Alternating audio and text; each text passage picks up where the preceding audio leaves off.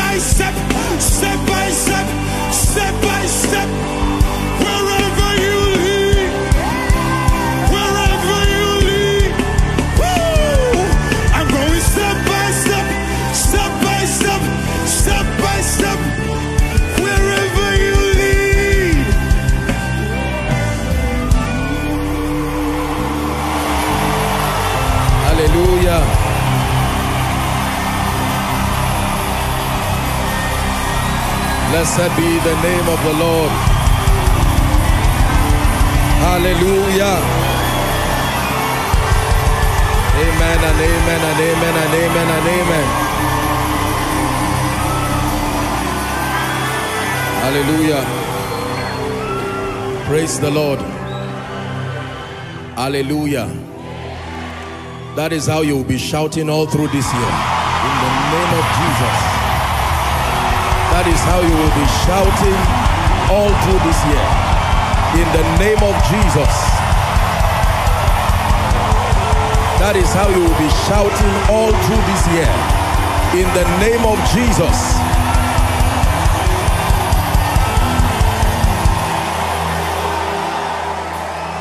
Hallelujah.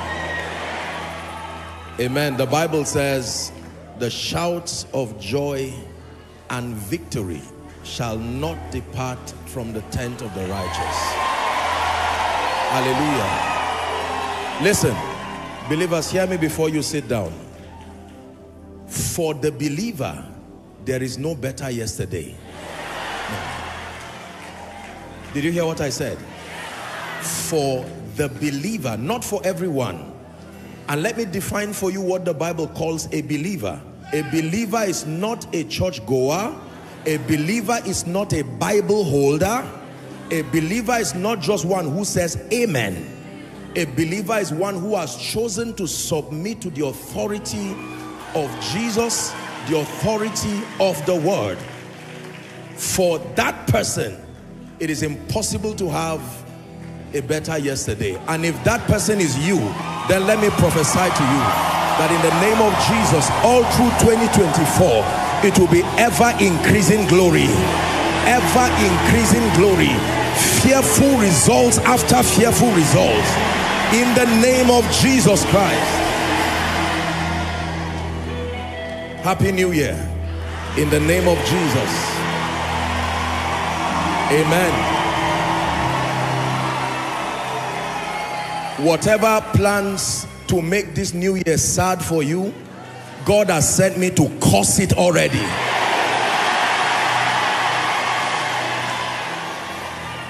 Hear me. The tears of last year will never be repeated this year. Let me say it again to the believer. The tears secret or open the tears of last year, the shame of last year, the reproach of last year has no place in your 2024 in the name of Jesus Christ. If the mouth of the Lord has spoken it, then his hand will make it good. You will see wonders this year. It will be clear from your life that it pays to serve Jesus. In the name of Jesus. Now together shall we lift our hands to Jesus and ask him to give us a very dramatic encounter tonight within the time that we have. Go ahead, Koinonia Global, Zaria, UK, US, Canada, across the globe. Lift your voices and together as a family of faith, let us thank the giver of all good things, the giver of life, the giver of all grace.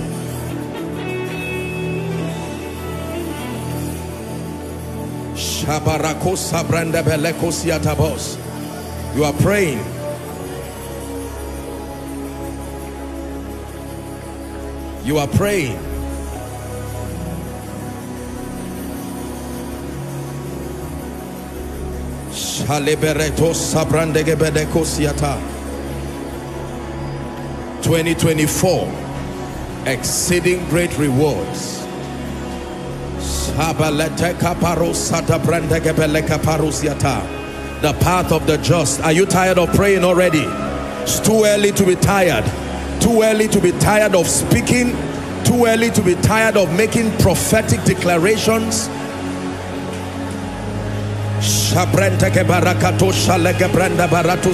We have come to receive. We have come to grow. We have come to rise we have come that prophecy be made manifest in our lives.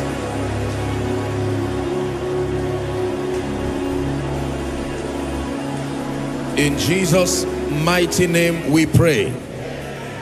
We're still praying Psalm 107 verse 1 to 3 I want us to start tonight by giving God quality thanks. Quality thanks from a standpoint of revelation Oh, give thanks unto the Lord, for he is good, and his mercy endureth forever. Verse 2 Let the redeemed of the Lord say so, whom he had redeemed from the hand of the enemy.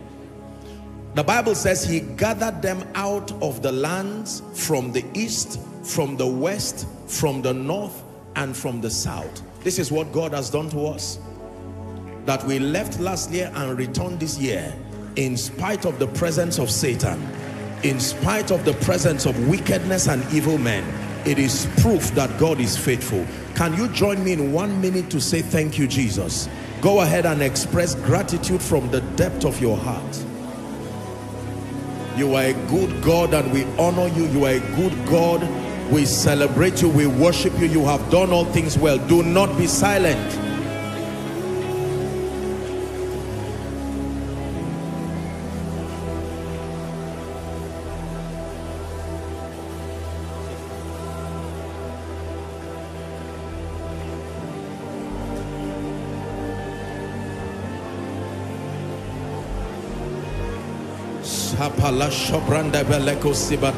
You have been a good God.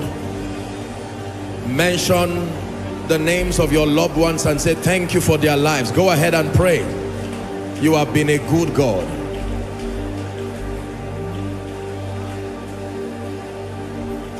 I have searched and searched all the earth, searched and searched all the earth and found that Babawani Kamarka. I have searched and searched all the earth, searched and searched all the earth, and I found that Babawani Kamarka. Babawani Kamarka.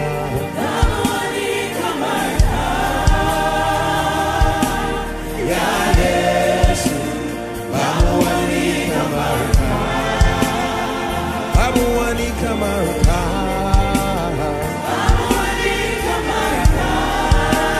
Precious. Wonderful in all goodness. I have searched and searched all the earth, searched and searched all the earth, and I found that. Sing it from your heart that I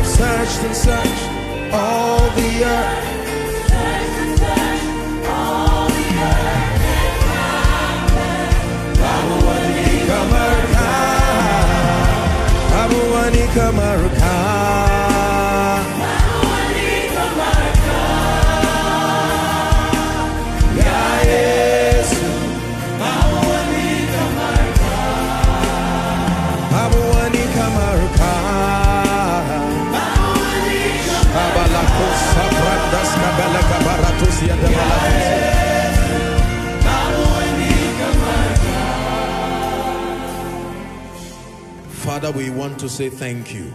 You have been good to us, and we choose to pay attention to your goodness and to verbalize our gratitude even tonight. Thank you for Koinonia Global. Thank you for every family here represented. Thank you for every believer here represented. Thank you for your goodness. It is of the Lord's mercy that we are not consumed because your compassions, they fail not. And tonight we have come expecting to receive, expecting to rise, to grow, to thrive, to excel. We obtain grace tonight, surprise us, meet us above and beyond our expectations. And to Jesus be all the glory. For in Jesus' matchless name we pray. Hallelujah. Please be seated. Please be seated. Very good to see everyone again. This is the hand of God, and we want to say thank you to Jesus. Hallelujah.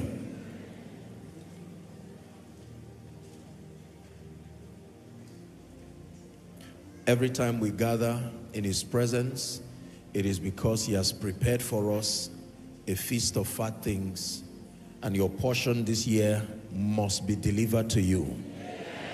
In the name of Jesus Christ. The Lord has spoken by His Spirit that this year, 2024, is a year of exceeding great rewards. Hallelujah. Now, very quickly, um, I'd like you to write, I have by the Spirit four important goals. This is our goal, and it is my goal for you by the Spirit of God before we get into discussing the prophetic word. Usually the first service of the year is dedicated to do justice to the prophetic word so that we run with a word whose revelation we have and um, this is what we'll be doing tonight. So the first goal that God has in store for us and this must become our pursuit for every believer who is genuinely connected to this ministry worldwide is number one, a deeper knowledge of God and a greater conformity to his nature and character. Let's start from there. The first goal that we have as a ministry this year is a deeper knowledge of God. This is my assignment to you. This is God's goal. This is Koinonia's goal. It is our commitment to our global family. A deeper knowledge of God and greater conformity to his nature and character. Please write that down. A deeper knowledge of God alongside a greater conformity to his nature and character. We want to see this year like never before believers who are Christ-like indeed. John 17 and verse 3 says, This is life eternal, that they may know thee, the only true God, and Jesus Christ, whom thou hast sent. Galatians 4, I believe, verse 19, Paul was crying from his spirit over the Galatian church, and he said, My little children, of whom I travail in birth again until Christ be formed in you. Hallelujah. So we desire to see believers who are Christ-like in experience. Even in such a bedeviled world like ours, it is possible to be Christ-like. The Bible says, by these shall all men know that ye are my disciples. And he says, when you have love one for another. And I hope you know what we call the fruit of the Spirit in Galatians chapter 5. So from verse 16 to 22 talks about the works of the flesh. The entire discussion is about a contrast between the flesh and the spirit. Hallelujah. By the time we get to 22, he says, now the fruit of the spirit, but the fruit of the spirit is love, joy, peace. Um, King James does not do justice in really articulating what Paul was attempting to say because you see, the fruit of the Spirit is not just love, joy, peace, suffering. Even if you use it like that, it's still applicable. But the truth contextually, the fruit of the Spirit is love. Are we together? Then all that you see, joy, peace, long suffering, are the expressions of love. So love is the nature of God. And from that love comes the expression of joy, peace, patience or long suffering, gentleness, goodness, faith. And then verse 23, um, it says meekness, temperance. It says against such there is no law. So the nature of God in a man is manifested in and through love. The love of Christ, more than the power of Christ, more than the wisdom of Christ. The love of Jesus at work in a believer is the signature that God is alive and at work in such a person. And so this year, God's goal for us as a global family is that we have a deeper knowledge of God and a greater conformity to his nature and character. Ready for number two? The second goal is more superior levels of transformation. This is the second goal, more superior levels of transformation. According to Romans 12 and verse 2, we have experienced transformation all through the years, but this year, God has a goal for us, and it's our goal in righteousness that we will contend through quality, life applicable teachings. We would get into more superior levels of transformation. Every one of us here should know by now that the quality of your life spiritually and otherwise is a reflection of your spiritual understanding. Hallelujah. Mentality truly defines destiny. It is true. It is not a cliche, it's a fact. Your mentality, your understanding defines the kind and the quality of destiny that is delivered to you. Hallelujah.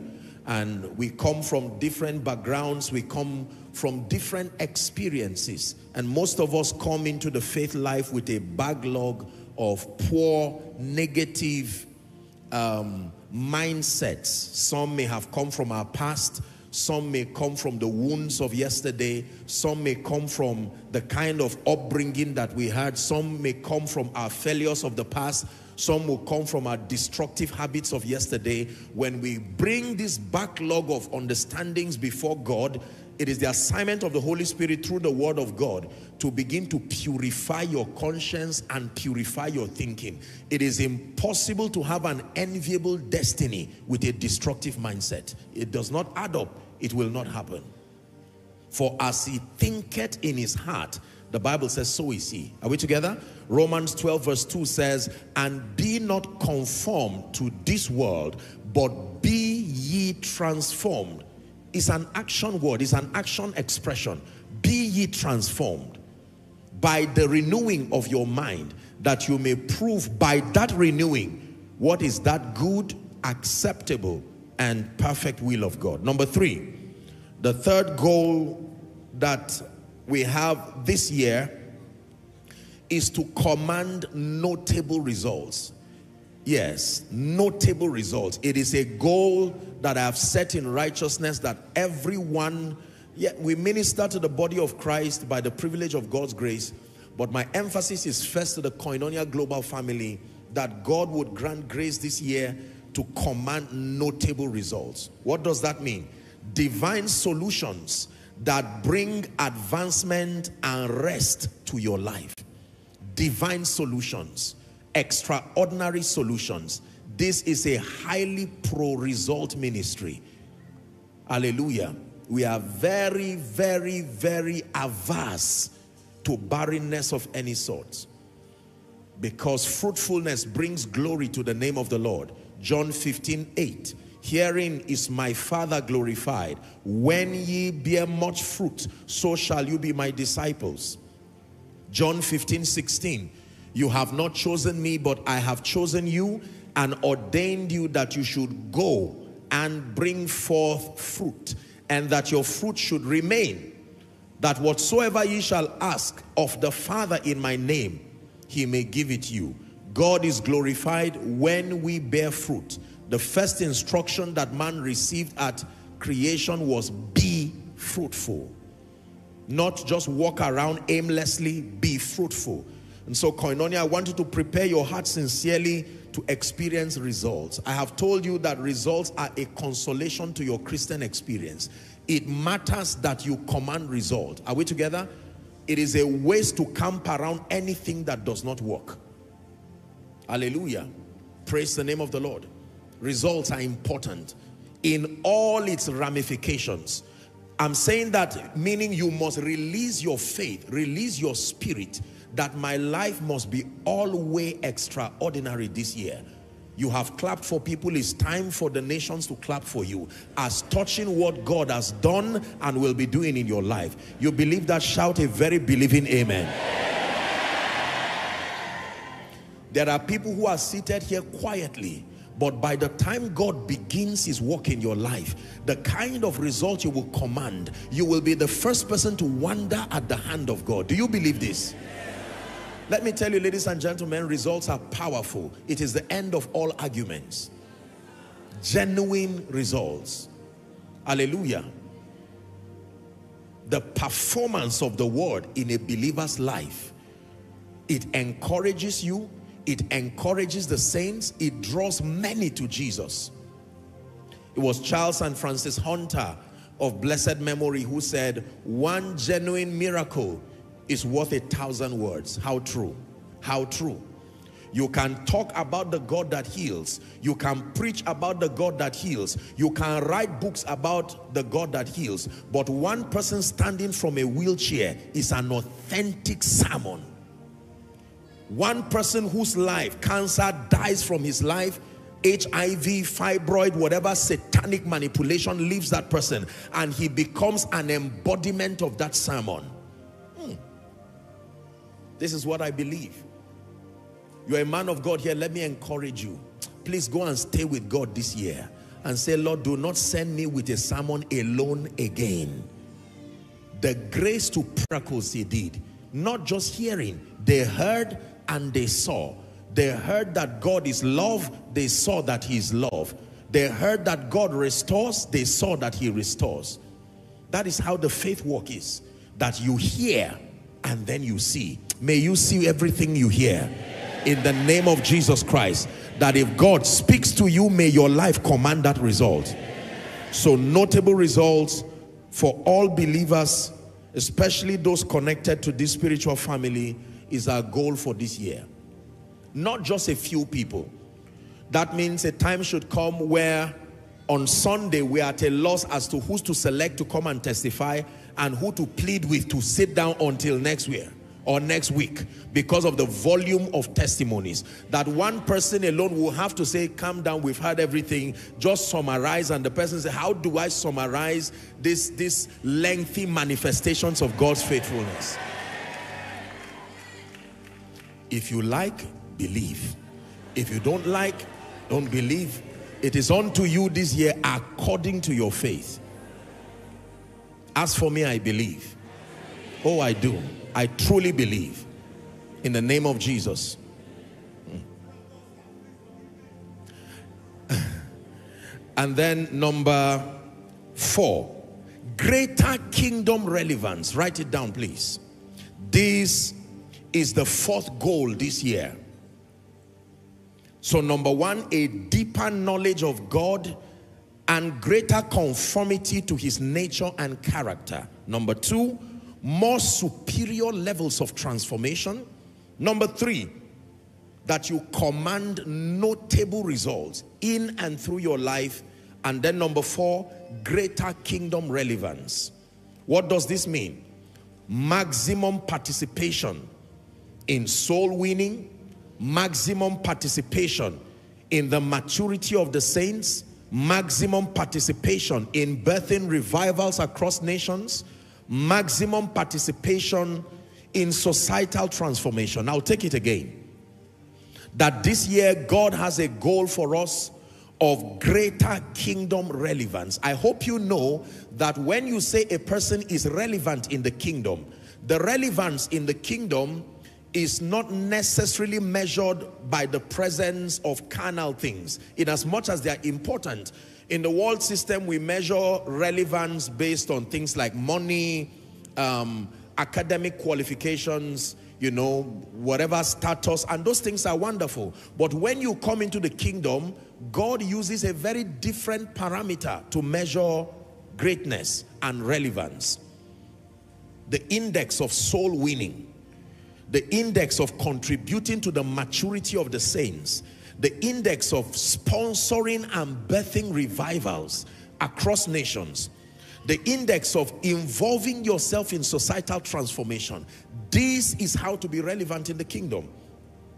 And so God does not just want us to prosper, to do well, you know, to excel as far as our personal lives are concerned. Remember that the entirety of our lives is to project and to reveal Jesus. And so, greater kingdom relevance becomes for us the fourth goal. What does this mean? It then means that you must be willing and available to be used, to be sent by God. Isaiah chapter 6 and verse 8. Prophet Isaiah said, um, it said, I heard a voice of the Lord saying, Whom shall I send? And who will go for us? And he said, Here am I, send me. Most people think when you say send me, it means you have to be some missionary in some country or you have to be a man of God traveling from place to place. No. Send me means whatever it is within my power, whatever contribution I can make with my life, my time, my resources, my energy to make this kingdom come agenda happen. I am ready and I'm willing to. Listen, let me tell you this, believers.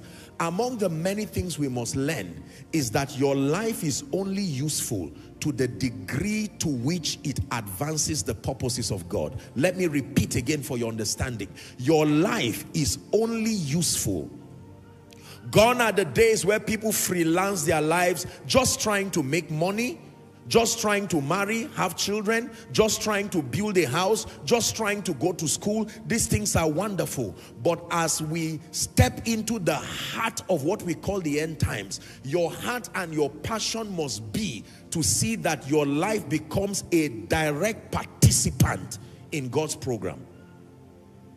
Hallelujah. There are many believers who are totally nonchalant as far as God's program is concerned. Theirs is to come and receive from God. God, I need a husband, give it to me. I need a wife, give it to me. I need my car, give it to me. I need prosperity, give it to me. Don't get me wrong. It is God's desire to make us have and experience all these things. I need my promotion, give it to me. I need this and that, give it to me. And then after we say and do all those things, there is nothing in our life that advances the program of God. Who is saved as a result of my life? It's none of my business.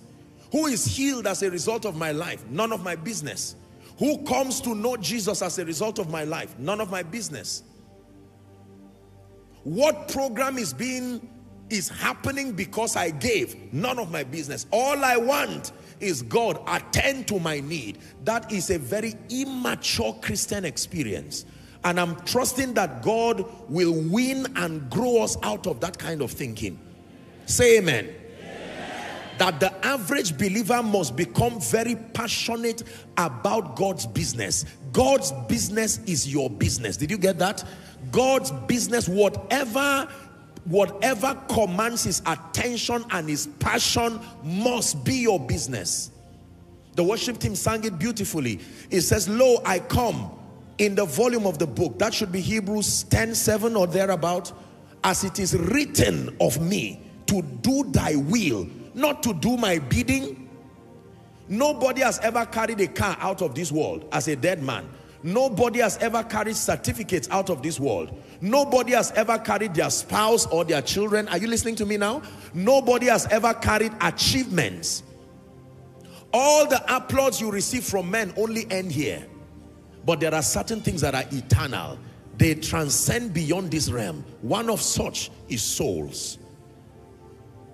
You immortalize your presence and your impact when you live for Jesus. This is not some church fanaticism. This is not just a preacher's discussion. This is an education that helps you to become a wholesome believer. So God is taking away from our life this carnality and this excessive coming to church purely based on receiving things. Money, house. You will, you will make more money than you've ever made in your life this year. That one you can be sure of that. It's true. You are under a grace that delivers that kind of result. You will not but have that result. But you see, the trouble is when it gets to your heart. When it gets to your heart, like it has gotten to the heart of many people. Praise the Lord, but worshiping the idol of money and things. Are we together? So it's important for believers to attain that state of maturity in the spirit, greater kingdom relevance. For me, this was my commitment and my vow to God again, that he should embrace me. Thank God for that which we have done for the kingdom. But that compared to what we are available and ready to do for the kingdom, yesterday's strides are child's play compared to the things we are ready to do this year for the kingdom. Preach like never before. Heal the sick like never before cast out devils like never before, transform the spiritual understanding of God's people like never before, ward off the arsenals of darkness over families like never before. This was my commitment to God. I said, Lord, anoint me in a way you have never done before. Let the miracle services be fire like never before. Let the teaching sessions be mighty moments of encounter with your word. This is what it means to contend for greater kingdom relevance. Prosperity is good. Physical advancement is good, but I rather be poor to the things of this world and be rich towards God. It's an intelligent bargain. I rather not have a car and have a thousand souls every week. Yes, I rather not have a name. I rather you forget about my name. Remember, I say these things all the time. And this, this is not just a, a pretentious preacher's talk. You have the Spirit of God. You know when people are making empty noise on stage. It's true. I will still be discommitted if God did not call me into ministry. I don't know any other way to live again, sincerely speaking. This is the mentality you must have as a believer. When God blesses you, the first thing that comes to your mind is the kingdom of God. There is a portion of this. When God lifts you, you are thinking Jesus. You are thinking kingdom. When you get up in the morning, you are thanking God for the gift of the day, the gift of the morning. Not just to go and accomplish your lusts and your goals, but your entire life is about Jesus. You see, you will know the value of such living when you become old. You will look back and smile at your yesterday because you would have made a wise use of your time. Versus wasting your life chasing after things that you may never find. Wasting the precious gift of time. For many of us you did not live effectively last year. God has given you the gift of 2024 and you must start by firing on all four cylinders for the sake of the gospel Are we together? Yes. So when we talk about kingdom relevance in this house, it is beyond just the acquisition of material things. It is beyond just the adorning of earthly glory on you. These things are wonderful. We don't downplay them. But in order of spiritual superiority, souls, transformation, birthing revivals across the nations, seeing to it that our territory comes under the influence of the Christ. This is what it means to be great and to be relevant in the kingdom. If that will be your experience, shout amen again. Amen.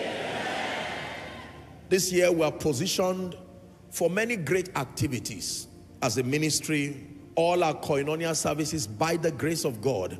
We trust God that there will be very prophetic encounters. It is my commitment and my covenant under God that no service, no gathering in this ministry will be a regular, careless, ill-prepared service where we come and we're disoriented, wasting your time and God's time. No.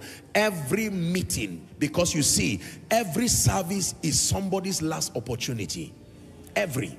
This is my mentality. Every time I prepare for service, I prepare for it as though this is someone's last opportunity. Perhaps someone is suffering from cancer and this is his last opportunity to experience the power of God. Perhaps the devil is already planning that someone will not finish this month and this may be his last. God would have sent him to Koinonia as the final bailout so that he can experience his life.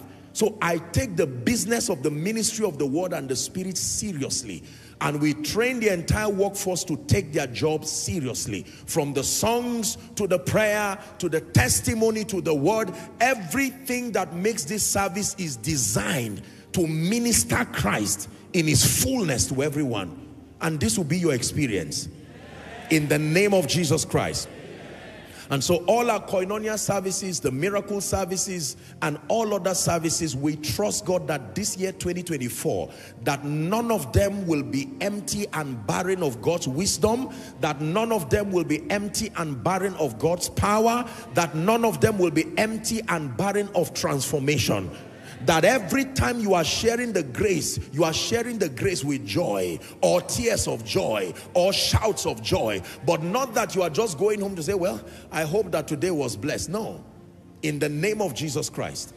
It is our commitment under God to see that your stay for each week and every time will be worth the while the wisdom that will come upon you in one service will be equivalent to all that you have achieved in 10 years one service, wisdom coming with fire from the throne. In the name of Jesus. Then of course, I will do justice to that by next week. But just to know that all of our apostolic conferences that we have, the Sound of Revival, UK, US, Canada, I mean, it's incredible what God has in store for us this year. And we really rejoice. We've been working behind the scenes and God has given us the grace to do all that we've done. All that needs to be secured is secured and we're almost done and ready to reveal Jesus at a dimension that we are hoping and trusting that will really, really bring him grace. Hallelujah. So we'll do the announcement officially next week at the miracle service um, for the month of January will be announcing very specifically all of those dates, but the sound of revival has really come to stay across the nations and we're trusting God for a mighty move to make our contribution as far as the revelation of Jesus to the nations is concerned. And um, by God's grace, we trust God this year to have many empowerment programs like we have always done, but in greater measures. The church is the light of the world. Do you believe that?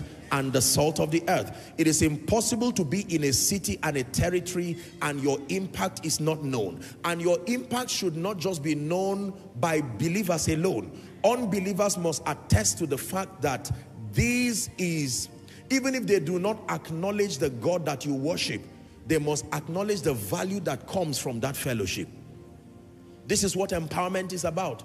Transformation and by God's grace, we will not fail to do our bid as far as helping to make a better society is concerned. We will give where we need to give as much as we can give. We will help where we need to help, rehabilitate where we need to rehabilitate, help people to live meaningful and useful lives by the grace of God. Hallelujah. And by the grace of God, this year we're going to be having our own Koinonia conference. Hallelujah. Yes, it's going to be, believe me when I tell you, you have not had an experience like what you are about to see. Hallelujah. It's going to be a global convergence of all the Koinonia global family who are going to be converging. It's going to be an extraordinary moment of fire, of power, of revival. Hallelujah. Are you excited already? What is your role in all of this? Number one, pray like never before. Pray like never before that the purposes of God as revealed to us that it will come to pass. Pray like never before. Clapping is wonderful, but not enough. Shouting is wonderful, but not enough. What you are hearing, Satan is also hearing. He was there when God delivered it from the realm of the spirit. He is aware that by reason of disobedience, souls will be saved. By reason of disobedience, life will be transformed. He said, I desire to come to you again, even I, Paul, once and again, but Satan hindered us. And so we must pray. You have been taught extensively in this house the value of prayer, particularly the intercessory value of prayer. Ezekiel 22 and verse 30, it says, And I sought for a man, I sought for a man among them that should make up the hedge and stand in the gap before me for the land, that I should not destroy it, but I found none. In this case, God has an army of willing people ready to pray his program. If, if you are part of that army, shout a believing amen. What is your next assignment? Give generously. Give generously. Give with understanding. Give with revelation. Hallelujah. The giving of the saints has always been one of the principal channels by which God finances his program. It is not limited to the giving of the saints alone, but according to scripture, God always gives believers an opportunity through their resources to participate in his program. And it will not be any different with us. Give generously by revelation. I am convinced that a believer who does not give with understanding is not a serious believer. We give primarily because we love Jesus. We give because we want to see his kingdom come. But I tell you, we give because it is an ordinance that brings all kinds of increase to believers. It will never change. Only a foolish farmer will stand in front of a farm and hope that a bumper harvest just happens. No, the earth is connected to the law of seed time and harvest. Genesis 8:22. It says, as far as the earth remains, the earth still remains. Seed time and harvest, cold and heat, summer and winter, day and night shall not cease.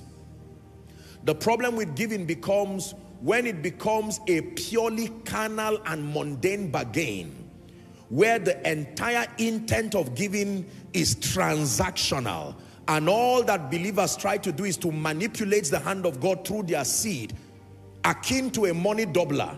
That is where your the entire philosophy that governs that kind of giving is wrong.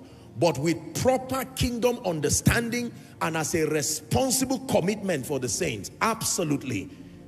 I have given, this ministry is a giving ministry, and if you are truly part of this vision, every part of you must participate.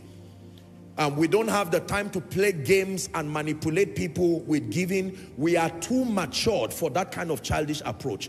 If you have been part of this vision, we love Jesus too much. It is an unnecessary burden to manipulate people to say give for this and that. We are, we are governed by a higher kingdom philosophy that we love Jesus. We have understood him enough to know that when we give, we give in joy, we give with understanding but we also give expecting that the rewarder will reward us. Are we together? So, it's important for you to understand this, that you participate by your prayer, your generous giving. Number two, number three, your full participation. This is the third way to connect to what God is doing. I hope we're still following. In light of all that God is said to do in our lives, our response is that we pray, our response is that we give generously, our response is your full participation. Half-hearted participation does not lead to glory. Now, this should be the year that you obtain grace from God to settle down and grow fully. One leg in, one leg out will always leave believers in disappointment. There are many people who are conditional Christians, circumstantial Christians. When they hear that something great and wonderful is happening, perhaps a miracle service, perhaps some program, then they come. Mm -mm. They that be planted. I hope you know because a seed is on the ground does not mean it is planted. If you study agriculture, planting is not throwing a seed on the ground. Planting is digging up the earth, putting the seed down, covering it.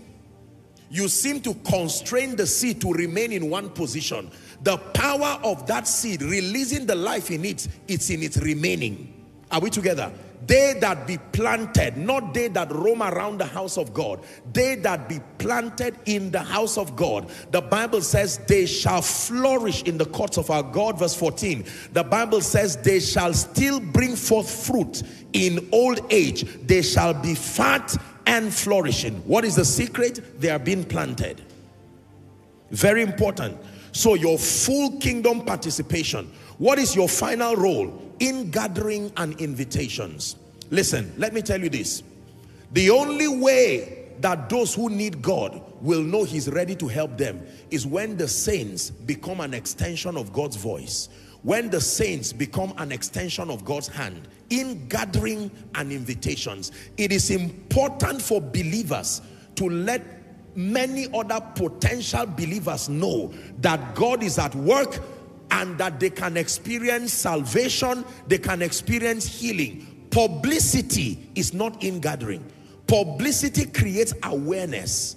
In gathering is an intentional process by which you bring many to the fold to experience Jesus and to be established in righteousness. There are many believers who publicize church activities, with all due respect, publicize ministry activities, but they have not been taught the revelation of ingathering. You want to understand ingathering? You have to understand what the woman did at the well. The Bible says when she encountered Jesus, she left her pot, left everything, and she ran. And she did not just tell them, I know about a man called Jesus. She said, come see. Come see a man that told me everything I've done. Come see a man. When the feast was prepared, the Bible says that Jesus told them in the parable that they should go and compel the people. It's the Greek word anakazo. It doesn't mean to force. It doesn't mean to manipulate. To give them a reason to come and experience Jesus. You should never come to church and then leave so many unbelievers that you know. Someone, perhaps you were even counseling with someone and the person tells you my whole life has been in shambles. This year already is, is, is a disaster. It looks like this year will be like last year. And you just look at your time and say, well, I feel sorry for you. I'm sure that God will do something about your situation. I need to run to church. And then you run and leave such a person. No. And then while you are in church, everything you are hearing is solving that person's problem. And you keep wishing in church, ah, I wish this person were here. Oh, no. That is not responsible Christianity. Are we together? For the promise is unto you and to your children, your children's children, as many as are far off, even those that the Lord himself will call.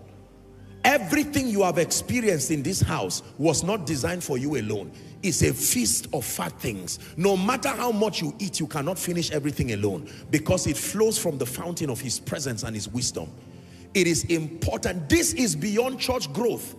Listen, there is a stage you get to in ministry where the pressure to prove a point dies. Everything to be proven, God would have proven it. Are we together? God has honored this ministry globally. So the, the idea of doing things just for a name is already gone. God has given a name. God has placed his hand upon our lives beyond any shadow of doubt. If all that we're doing was for self, we probably would have taken a break by now. But for Jesus, no, this is only the beginning. In the name of Jesus Christ. So you have a commitment this year to number one, I repeat again, pray. Pray. Pray for me. Pray for the leadership in this ministry. Pray for every department. Don't just come to church. Pray. You can join the prayer department every Tuesday as they pray. You can join. There is no crime in joining to pray. You see a group of believers praying while service is going. Is it all right if I join just to say a word? If they do allow you, that's fine. If they don't allow you, you sit down and you are praying. Father, as the word comes tonight, anoint your servant. Let the word of God come with power. Let there be no distraction. You will think that you are wasting your time. Is this not the year God has chosen to reward you? We'll be getting to the prophetic word shortly. But this, this is just a very important housekeeping that must be done. So you pray. Then you give generously. Honestly, let me tell you this. When believers do not give, um, it is a very dangerous training. Any training that stops you from giving is destroying you. Any training that makes you give just to get is also destroying you. Any training that is all about self is destroying you. There has to be a balanced understanding. But if you do not give, I am sorry to tell you, you will not rise. Not financially, not in this kingdom. Hallelujah. It's one thing to teach theory. It's another thing to be an embodiment of the things you are communicating. By the privilege and the mercy of God's grace, it was given together with the wisdom of God, wrapped up with God's mercy that has brought this ministry where we are today. Are we together? So your full participation as a worker. I told you, let me repeat myself again. There are no fans in this ministry. That fan mentality is not in the Bible. There are sports fans. There are fans of musicians. There are people who generally admire celebrities from afar. The business of the kingdom is greater and, and um, more important than that. In koinonia, there are no fans. There are believers governed by understanding, connected by covenant. Are we together? Intentional about seeing the glory of Jesus revealed in their lives and to the nations.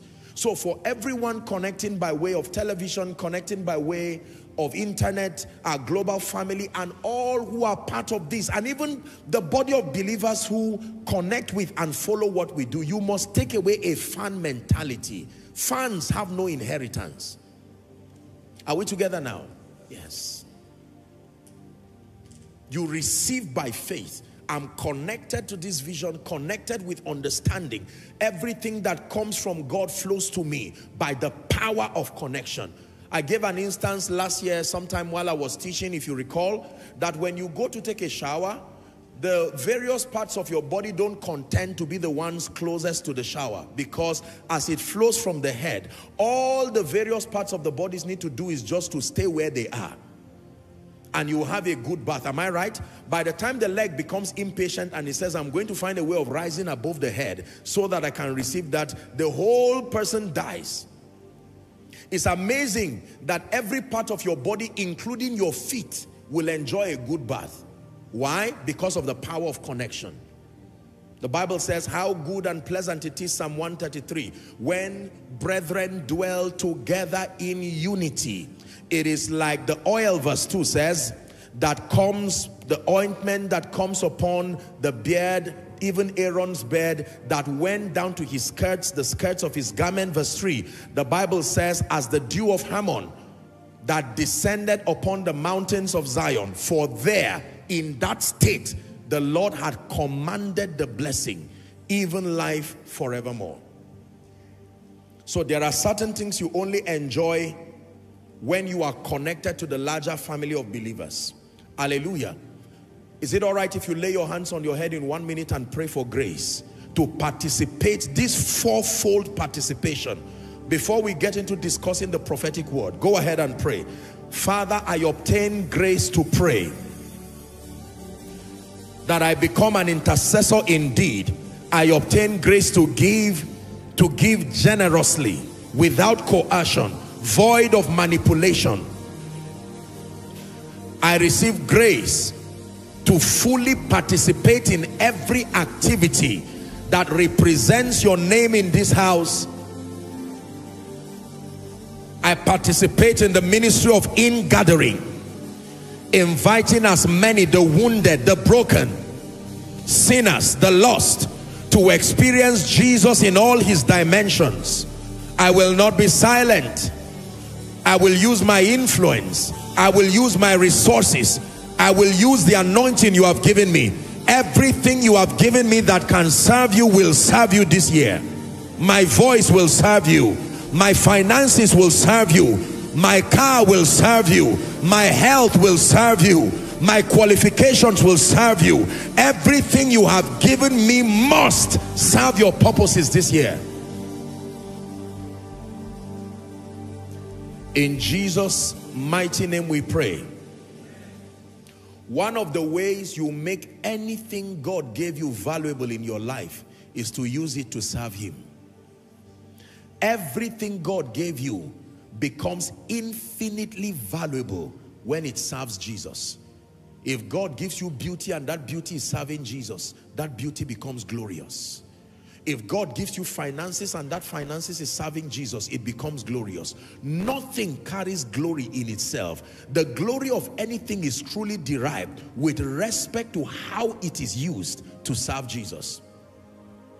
God gives you a beautiful voice like our worship team people and you use your voice to raise sounds of worship to the nations. You bring songs that become ladders of revival. You are serving God. Now your voice becomes valuable. God gives you a position, whether a political position, a position by reason of influence and whatever it is, if that position can serve Jesus, then serve your nation, it becomes valuable. It is mundane to keep anything hoping that by serving itself, it will be valuable. No. Imagine a tree that produces mango only to eat everything by itself. Imagine an orange tree that produces oranges everywhere and then no one is allowed to partake of that orange. The tree eats everything itself. Are we together? Imagine a corn stalk that grows corn and then it eats it again. It doesn't happen that way. Everything finds its relevance by serving a cause that is greater than itself. So you must serve. Use everything God gives you to serve. Serve him in prayer. Serve him as you give. Serve him with your time, your energy, your presence. Serve him by bringing many to experience Jesus. And the Lord will help you as you do that in Jesus' name. Now let's go to the prophetic word. Hallelujah. Blessed be the name of the Lord. The Lord spoke to us this year. It is customary for us as a ministry to receive by the Spirit prophetic words that guide us as a global family. I did note last year that not everyone in the body of Christ necessarily believes in the concept of yearly prophetic words, and that's all right. But for us as a family of faith, it has been a pattern that God gave us, and it's been a pattern that we have kept for many years.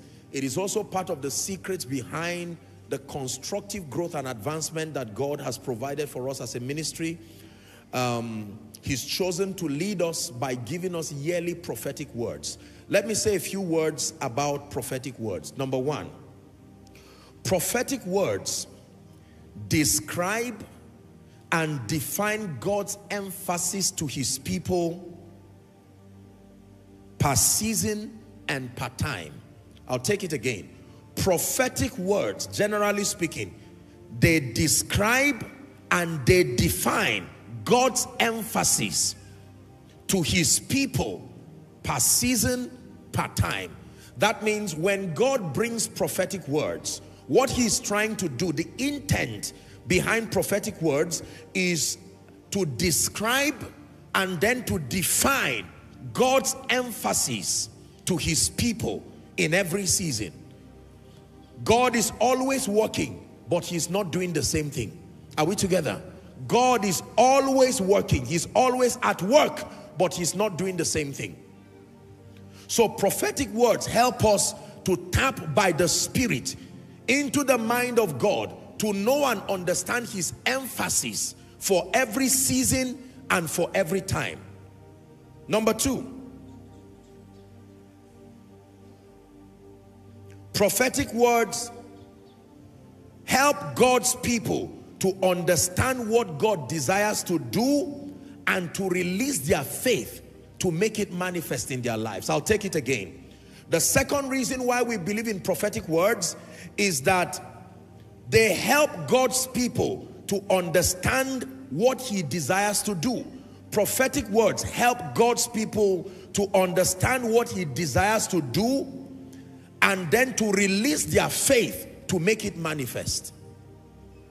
This is the second reason why we need prophetic words.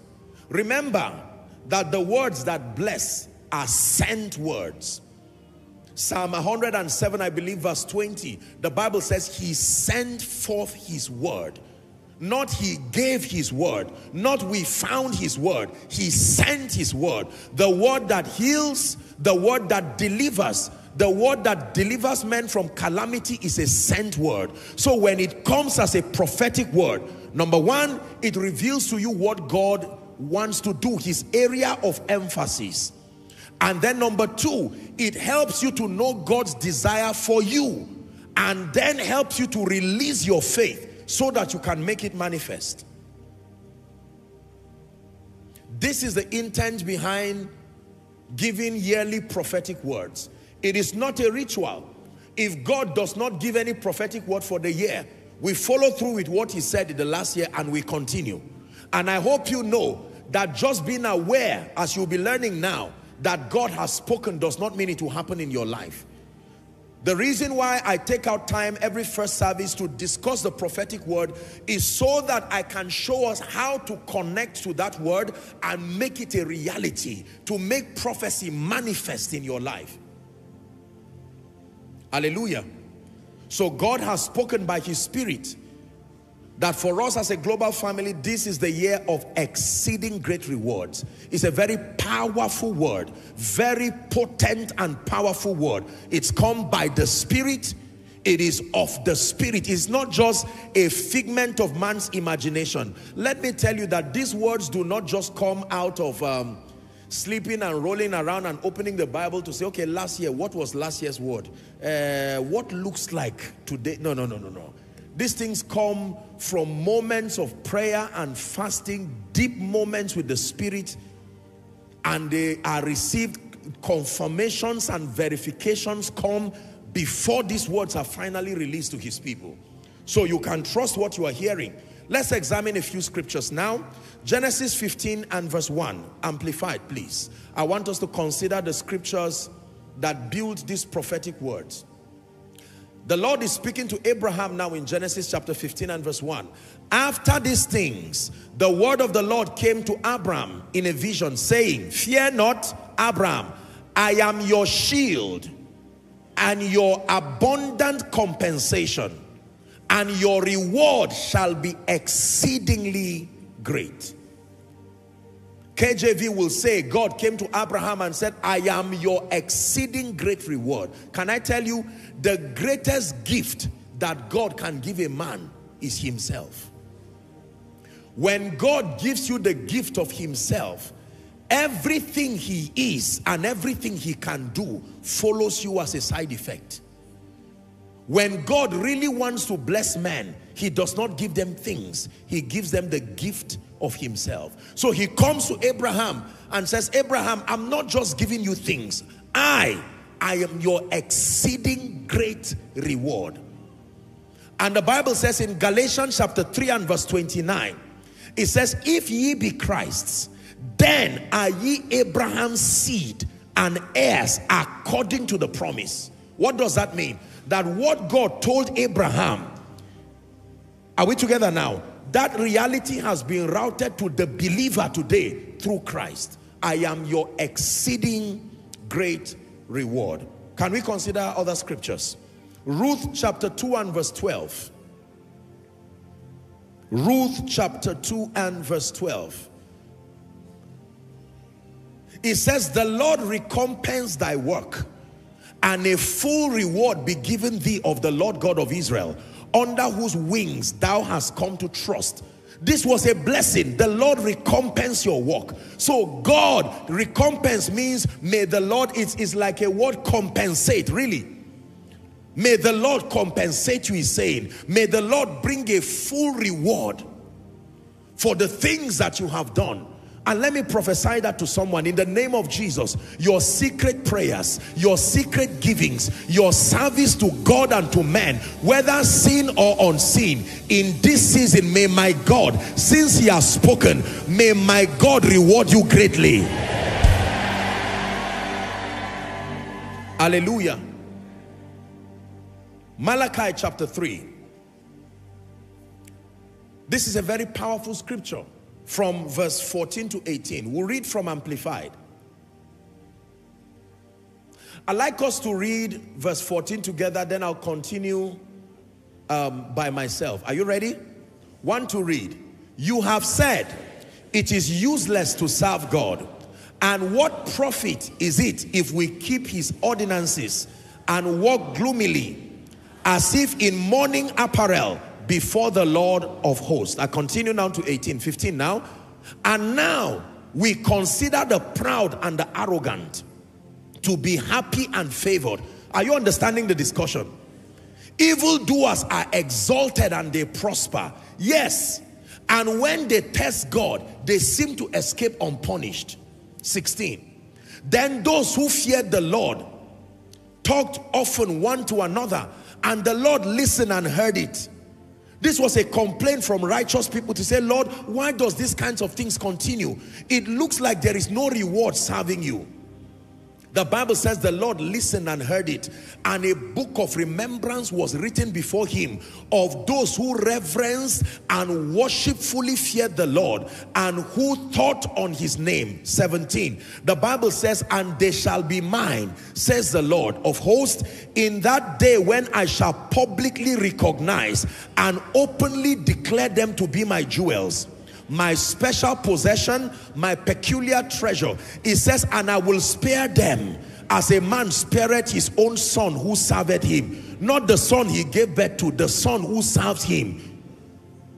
He says, then, as a result of what will happen in their life, shall you return and discern between the righteous and the wicked, between him who serves God and him who does not serve him. I'm telling you, believe me, this is the year where there will be a clear demarcation. There will be a clear difference between those who serve God and those who do not serve God. I believe it. There are families who have served God for years some of you, your parents served God till they died. I tell you, the rewarder is coming to you. One of these days, you will hear a spiritual knock on your door. You will open it thinking it's a demon. And you will see God show up and says, for your faithfulness of 10 years, for your secret prayers for Joshua Selman, I'm saying this by the Spirit, for giving, nobody saw you but you gave on account of your faithfulness serving the Lord, it looks like you are marking time right now. I have come to reward you. You believe what I'm saying? Yes. Hmm. I was teaching last year and I said, we have very sophisticated mail systems across the world now. There's FedEx, there's UPS, uh, UP, uh, um, S, and then one, one other one, which other one again? DHL. And sometimes those guys are so, they, they know how to find your house, provided your house is on earth. Are we together now? If it's in another planet, that's fine. They may find another. But if your house is on earth, you will be surprised. It may take a while, but eventually you will see them knock at your door and say, you so, and so? I have a parcel for you and you open it and see that that parcel came from Russia, came from Australia, and you are wondering all of that distance. It's none of your business how they transported it to reach you. The most important thing is if it is your name there, you receive it with thanksgiving. Do you believe that? I prophesy to you in the name that is above all names. May my God, who is your God, bring your reward to reach you this year. Hallelujah. Now hear me. The Bible says once upon a time, there was a man who was on his way going. And then armed robbers attacked that man on the way. They beat that man and left him for dead. Only God knows what treasures that man was carrying, but he was attacked. I decree and declare everything that wants to attack the arrival of your rewards in the name of Jesus Christ who died and rose again, they are cursed even before arrival.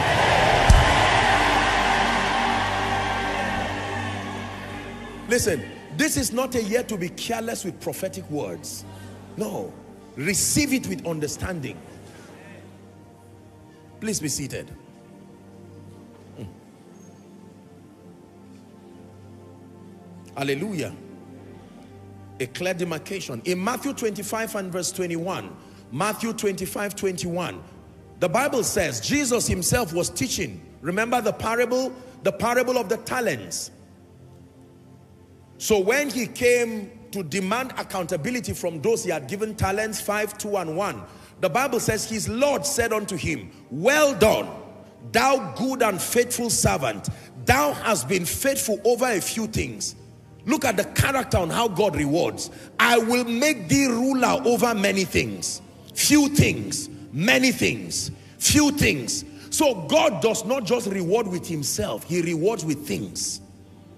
Few things like little money, many things like increases, financial increases, few things like maybe whatever it is, and then many things. God rewards with things. I will make thee ruler over many things. It says, enter down into the joy of the Lord. I'm praying for you.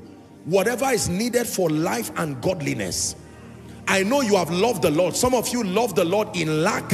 You love the Lord in pain. But whatever provision must be in place for you to enjoy God this year, may my God gravitate it towards you. If giving you your own house will give you the peace to serve God this year, may the rewarder reward you with it.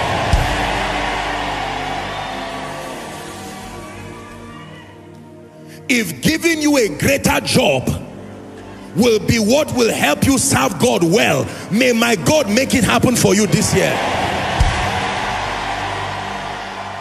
If entering your marital destiny or having your children, are we together, or blessing your spouse, anything around your family life is what will make you serve God well, may my God make it happen this year.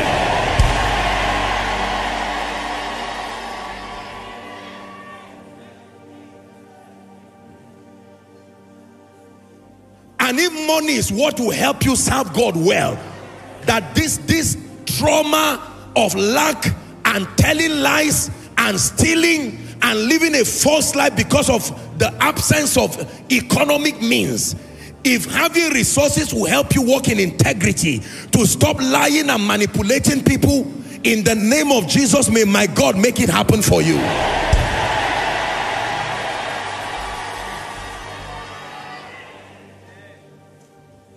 Please be seated.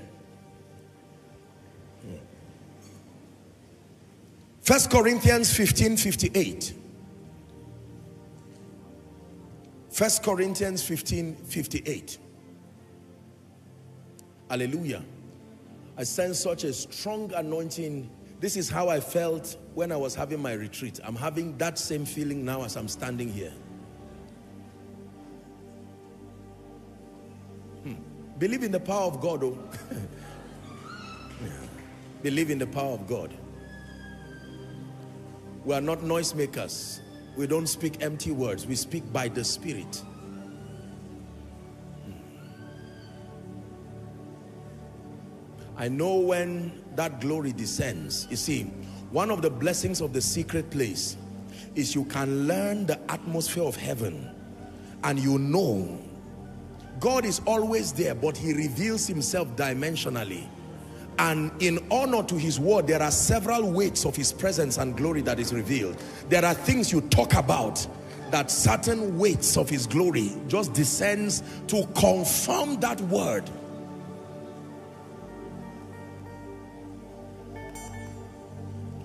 Hallelujah. This is very powerful.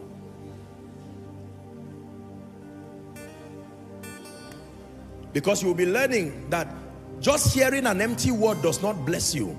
There is the grace component that follows every word. That is what empowers you to become. Just hearing, no. If I teach on faith, there is a grace that imparts faith. It's called the spirit of faith. It comes by the hearing of faith. You cannot receive the spirit of faith without the hearing of faith.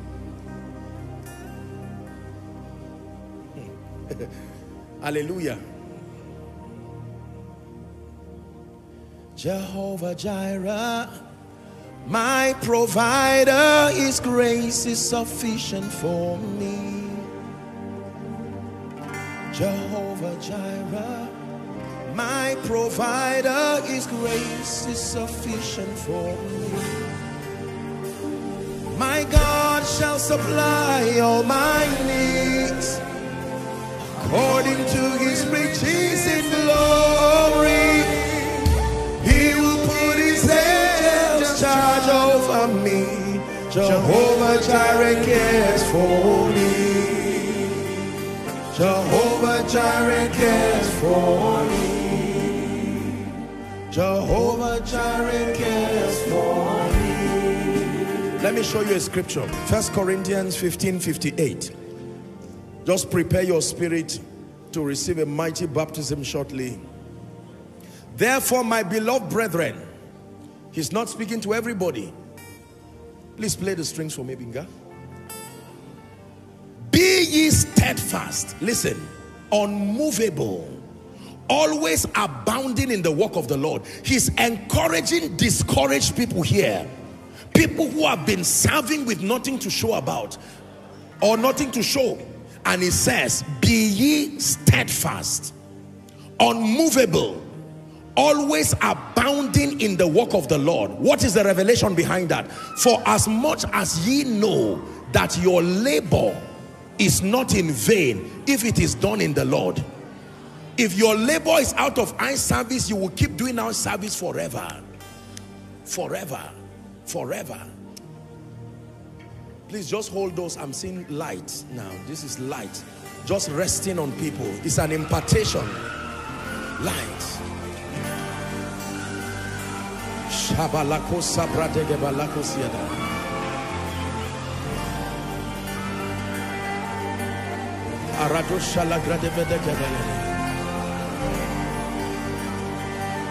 Have come in the volume of the book, it was written about me your will, oh God. I've come in the volume of the book, it was written about me to do your will, oh God. I've come in the volume, I've come in the volume of the book. It was written about me to do your will, in the volume, I've come in the volume of the book. It was written about me to do your will, oh God. So no matter whatever may come my way, I'll follow, I'll follow, I'll follow, I'll follow. No matter whatever may come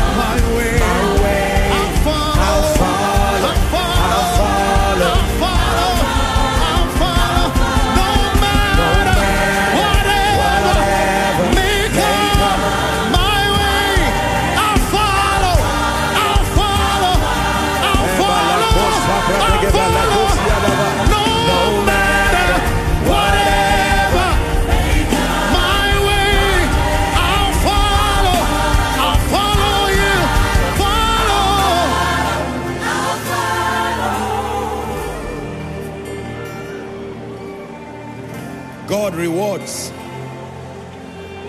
God rewards.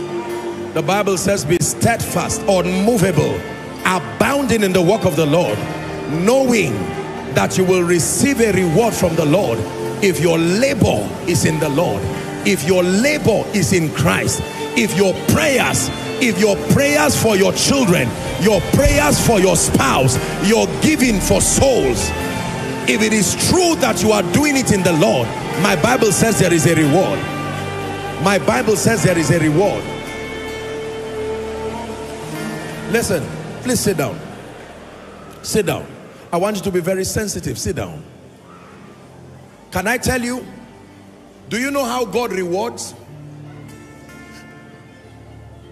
There are rewards that will come to you whose the harvest of seeds you cannot remember sowing is because someone connected to you sold it.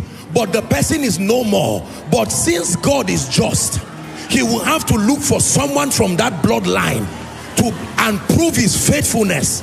I'm saying this because there are many of you your loved ones are dead but they serve God. They gave to the work of the kingdom. You will marvel and wonder that God will look for you. Seeds you did not sow but because you are part of the natural descent of those people God will visit you with anointings visit you with prosperity visit you with graces. In the name of Jesus Christ. It is true. Listen it's not only curses that are transgenerational. Blessings are transgenerational. He's called the God of Isaac. The God of of um, the God of Isaac, Abraham, Isaac, and Jacob. There is a reason why he's called that way.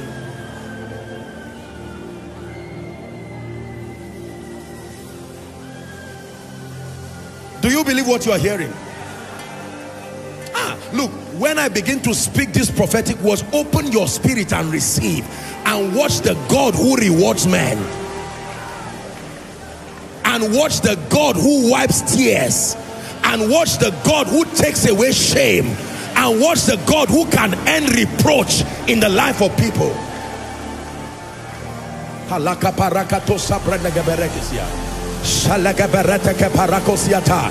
Come on, turn this revelation to prayer in one minute. Oh, you will reward, you will reward. You are a God who does not fail. You will reward to the third and fourth generation. You will reward. Reward with power. Reward with good things. Reward with your presence.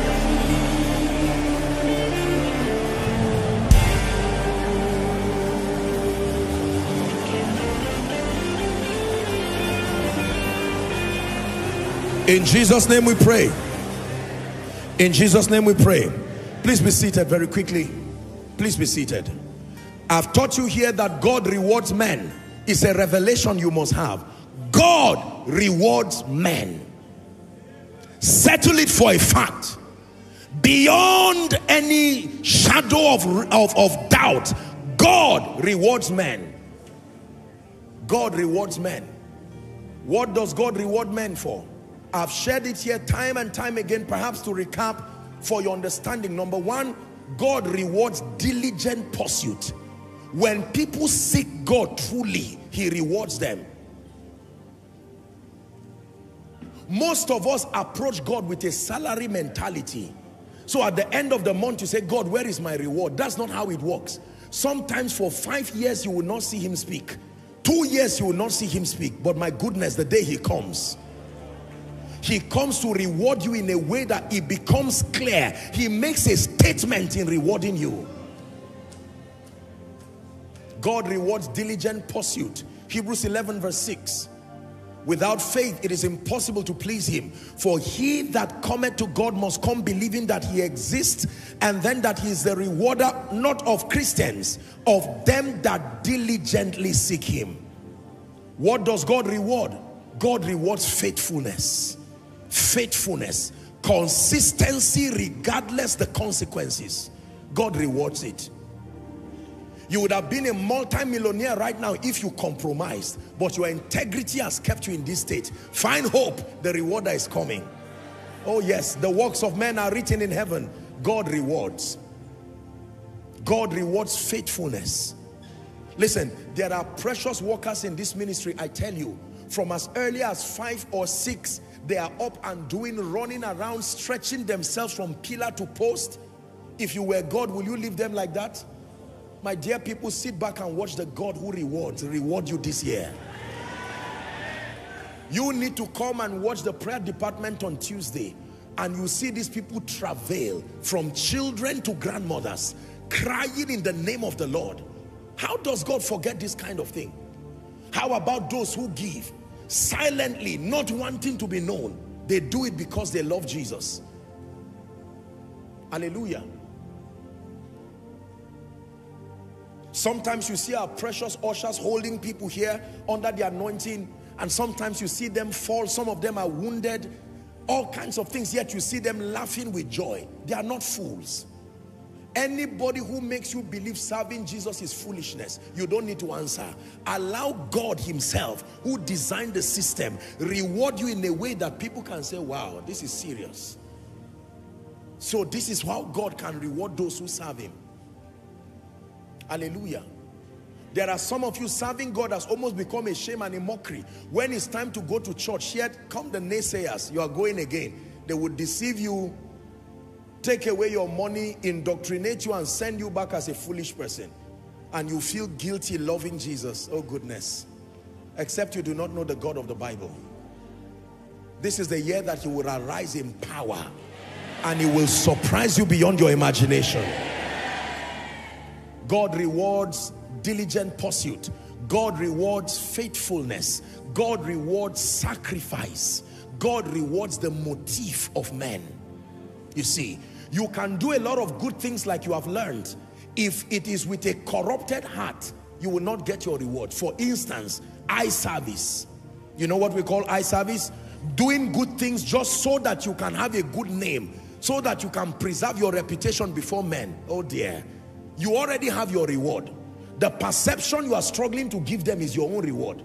But if from the depth of your heart, loving and serving Jesus, I want to tell you that God rewards the sincerity of men's hearts. Hallelujah.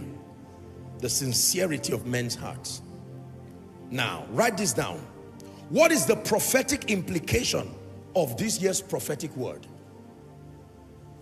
You write this now and we begin to rain these prophetic blessings on you. What is the implication? There are four implications to this prophetic word. When God says it is our year of exceeding great rewards. Number one, it means it is a year of great consolation for those who have given themselves to live for and serve the Lord. Let me take it again. The first implication of this prophetic word is that number one, it means that this is a year of great consolation for those who have given themselves to live for and to serve the Lord.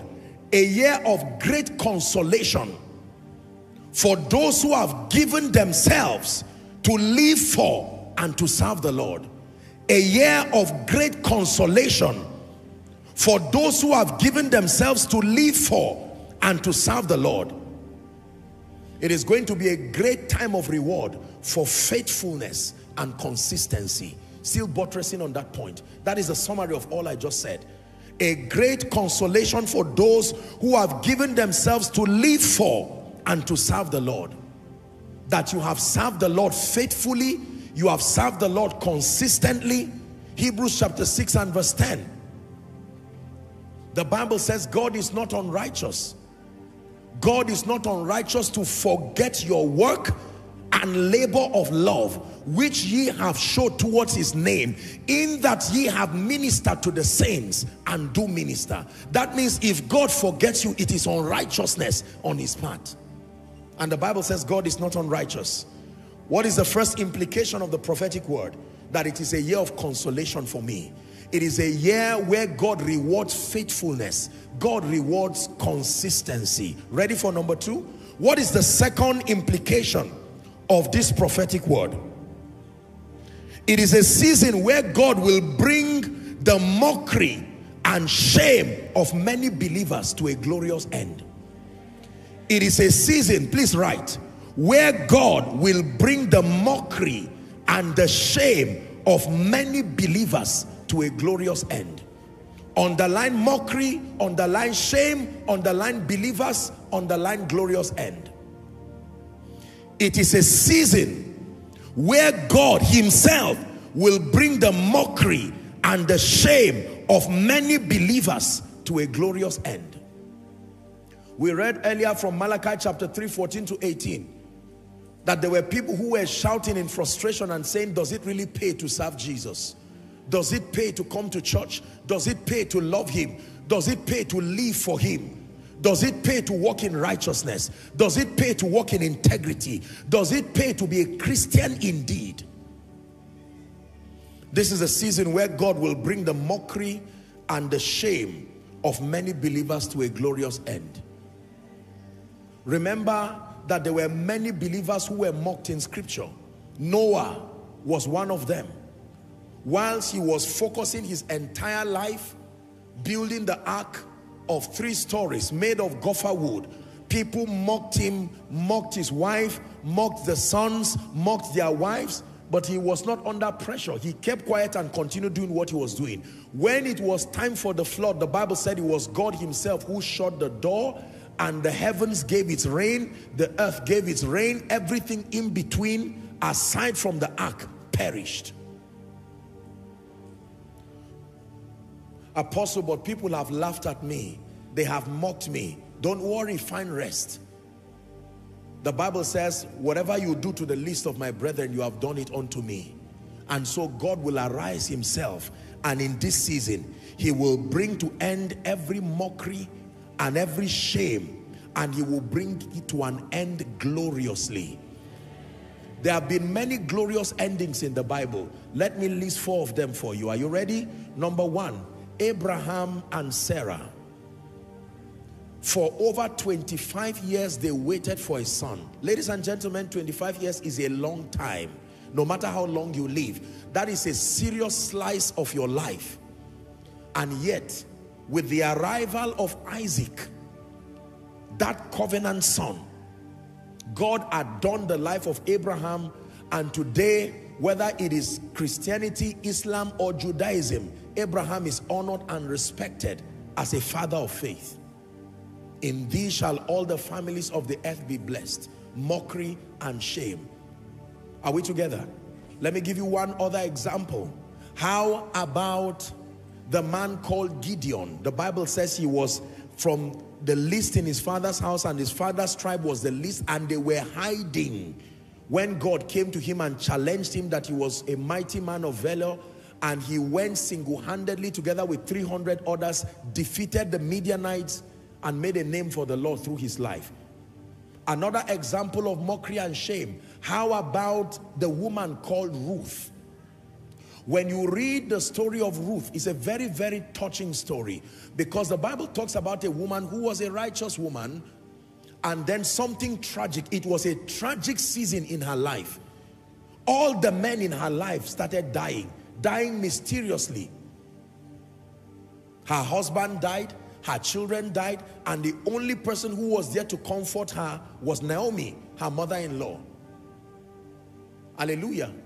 Yes. And Naomi herself was widowed, she was sad, you know, and all of those, I mean, she felt sad and, and you know, she told Ruth and Orpah, say, you people should just go and leave me. Just leave me. My life is an, an epitome of shame and reproach. Will I have other sons and have them grow for you people to now have husbands? Just go. And Orpah went away and Ruth stayed and said, I'm not going anywhere. Your God will be my God. Your people will be my people. Are we together now?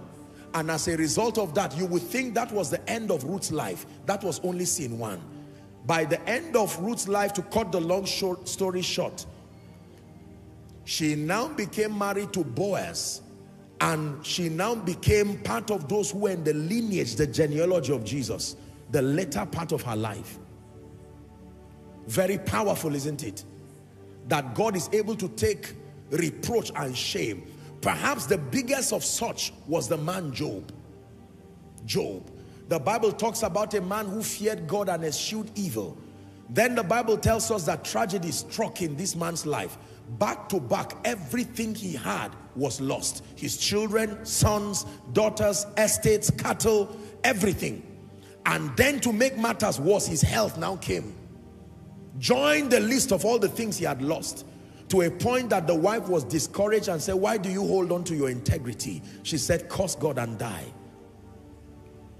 And then the Bible tells us in a very beautiful and glorious way in Job chapter 42, when you read from verse 10 and 11 downwards, the Bible tells us that, and the Lord restored, I like this, the Lord turned the captivity of Job when he prayed for his friends, and the Lord gave Job twice. This is the, the, the expression of glory. Twice as much as he had before. And then the Bible now starts to list a lot of things. He had sons again, daughters again, estates again. Everything he lost, literally, the Lord gave him twice. So the meaning of this is that everything that looks like shame and mockery in your life, in the name of Jesus, this is the year you will watch it die permanently. You will watch it die permanently. But it will not just end like that. It will end in praise and it will end in glory. Did you hear what I said? It will end in praise and it will end in glory.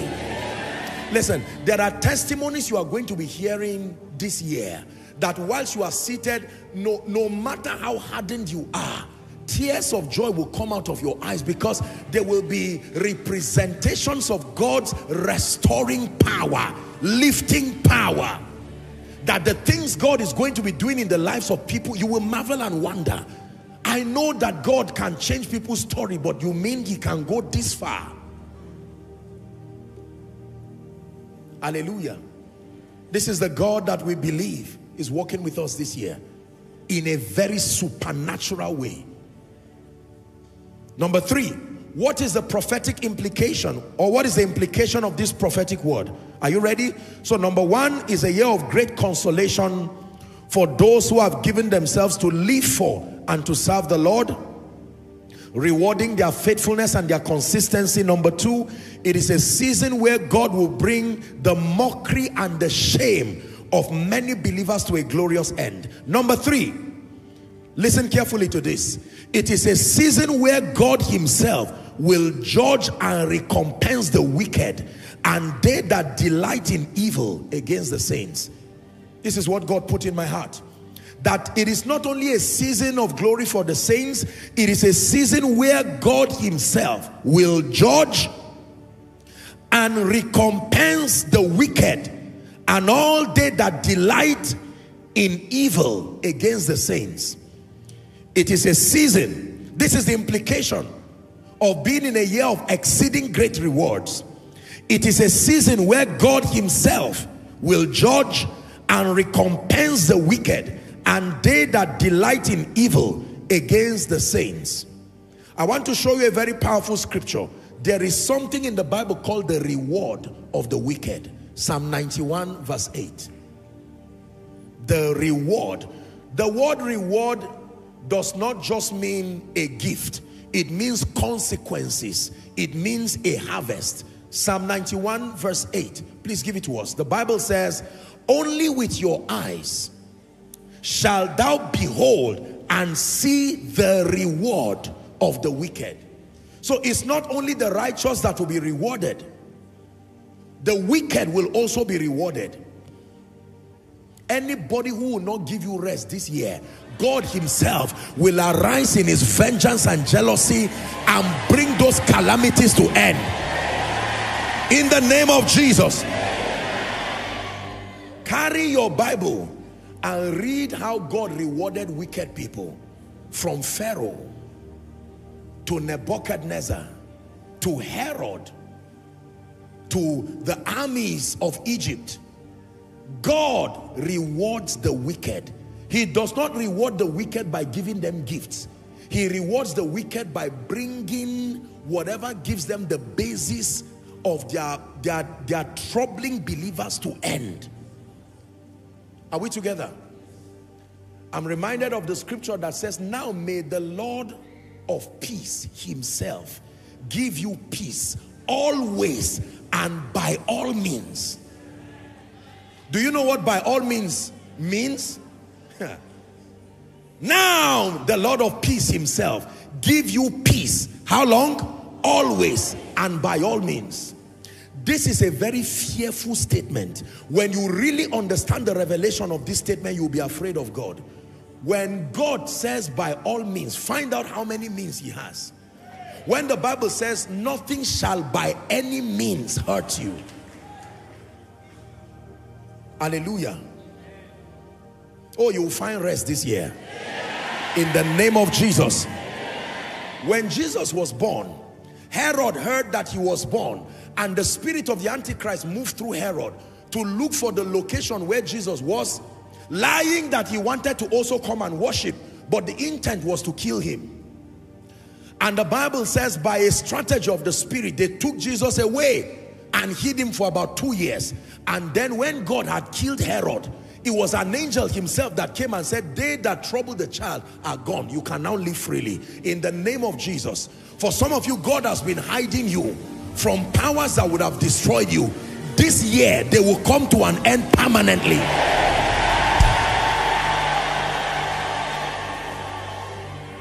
Your Bible says, let God arise and let his enemies be scattered. In the name of Jesus, for your sake, I'm saying it, let God arise and let all his enemies over your life be scattered.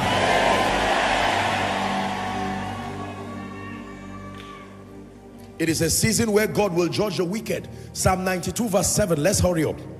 I want to speak over you. Psalm 92 and verse 7. Watch this. The Bible says, when the wicked spring as the grass, and when all the workers of iniquity do flourish, it is only so that they shall be destroyed forever. That means don't be afraid when it looks like the wicked are getting away with it and you are saying, God, are you not aware? God is saying, I am the one setting things up. I, I, I, will use that downfall as a statement that there is only one God that rules over the affairs of men. Keep that scripture again. This is in your Bible. When the wicked spring forth as grass and all the workers of iniquity do flourish, it is that they shall be destroyed forever. So while Pharaoh was making his boasting, I would destroy the nation of, of, Israel and all the, with their chariots he got angry when they left and he said pursue them. He did not know that it was the intelligence of God to drown them permanently in the sea. I'm saying it to anything that will not let you rest. May my God lay to rest this year.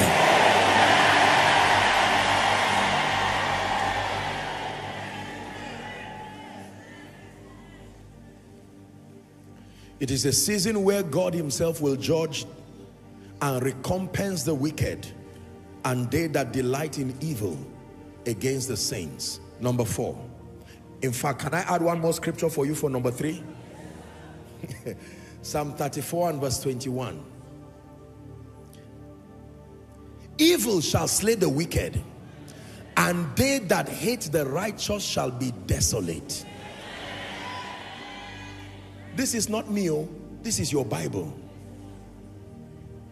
that like Haman, who has vowed that Mordecai will never rise, like Haman who has vowed that God's covenant people would die, while he was digging the pit, he did not know he was digging how he would die.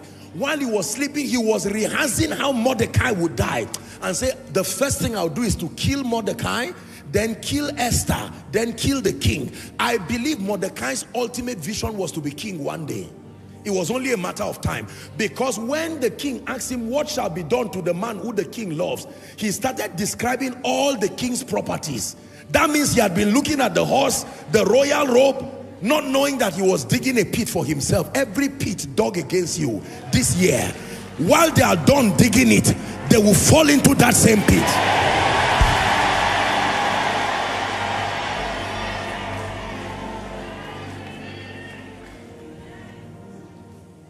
In the name of Jesus. Number four, what is the implication of this prophetic word? That this is a season where the profit that comes with loving and serving Jesus will be on full display. drawing many to Jesus. Let me take it again. The fourth implication of this prophetic word is that this is a season or the season where the profit that comes with loving and serving Jesus will be on full display. Don't forget this one. Serving Jesus pays. Loving Jesus pays. And this is the season where the prophet that comes with loving and serving Jesus will be on full display, drawing many to Jesus. Isaiah 45 and verse 19. Let's look at Amplified. Isaiah 45 verse 19. I have not spoken in secret in the corner of the land of darkness. I did not call the descendants of Jacob to a fruitless service, saying, seek me for nothing, but I promise them a just reward. I, the Lord, speak righteousness.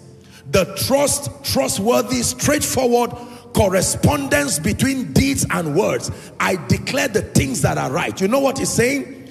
KJV is where you get the word, I have not called the seed of Jacob. Yes.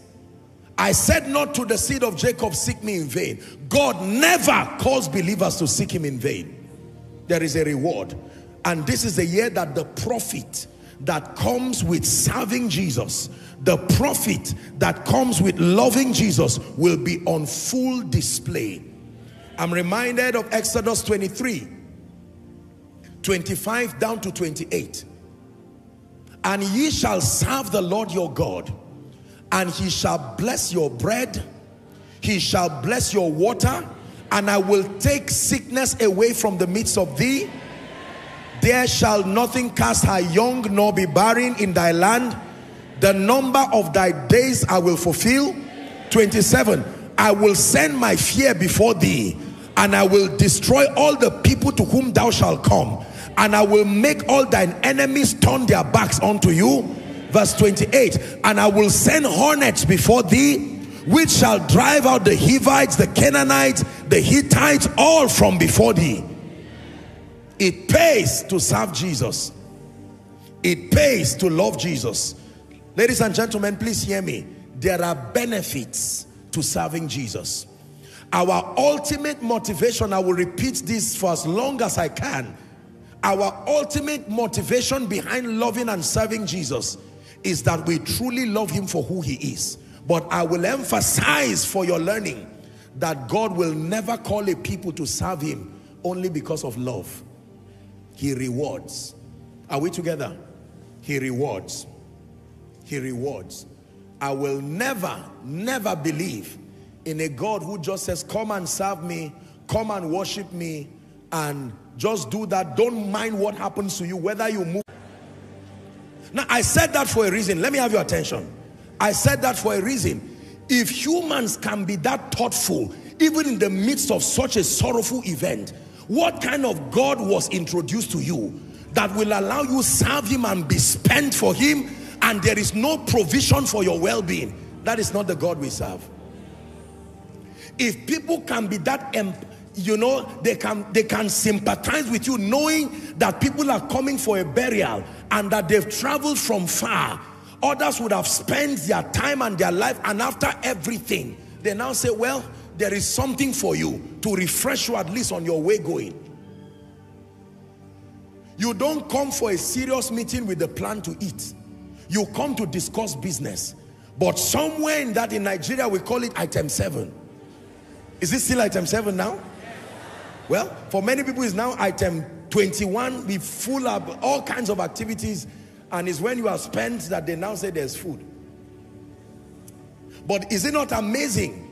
Listen, that in all of our plannings, you are considered irresponsible in Africa if you ever call for any kind of responsible gathering and not factor in something to refresh people, at the very least, water. Not even poverty is an excuse for leaving people in that state. We are that educated to know that every time you gather people, even if the reason for gathering is not your fault, the fact that they are coming to you, the responsibility becomes on you to make sure they do not leave the way they come. Ladies and gentlemen, let's respect God. This God you see is not a wicked God. This God you see is not a cruel and self-centered God. Instinctively, even culture and culture beyond the bounds of religion. Every religion I know, in ways great and small, promote hospitality. You are commended when you are hospitable. It is the one factor that binds most cultures across the globe. I've traveled a bit and when I go to cultures, they try to show hospitality and honor in many ways. Sometimes they dress me, sometimes they give me their local food. They do whatever, they devise the skill to show you you are welcome. May God himself tell you thank you this year.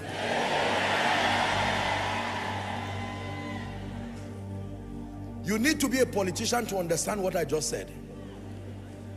There are ways that once you come, especially politicians, after they greet you, say, well, uh, I have a little thank you somewhere, just a cup of water, and uh, please make sure you look at it.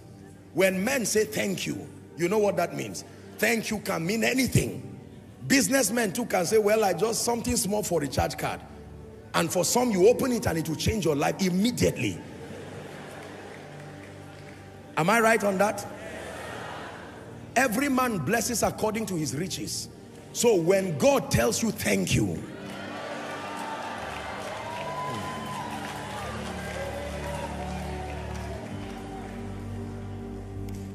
God does not consider himself too big to tell the saints thank you. It is clear in scripture that he commends people and he acknowledges the fact that he's touched and grateful for their commitment. When a rich man tells you thank you, thank you can mean go and carry that house. Thank you can mean take a car. Thank you can mean whatever you want. Thank you can mean sponsor your children. As men, as frail as we are, we have told certain people thank you. And even in our own little capacity, that thank you has meant something miraculous in their lives. Not to talk of God. Hallelujah. I'm saying it again. May you hear thank you from the master. For someone, thank you from God will mean you will never beg again for the rest of your life. For someone, thank you from God will mean that cause of untimely death that kills people in your family on account of your loving him, he will cause it forever.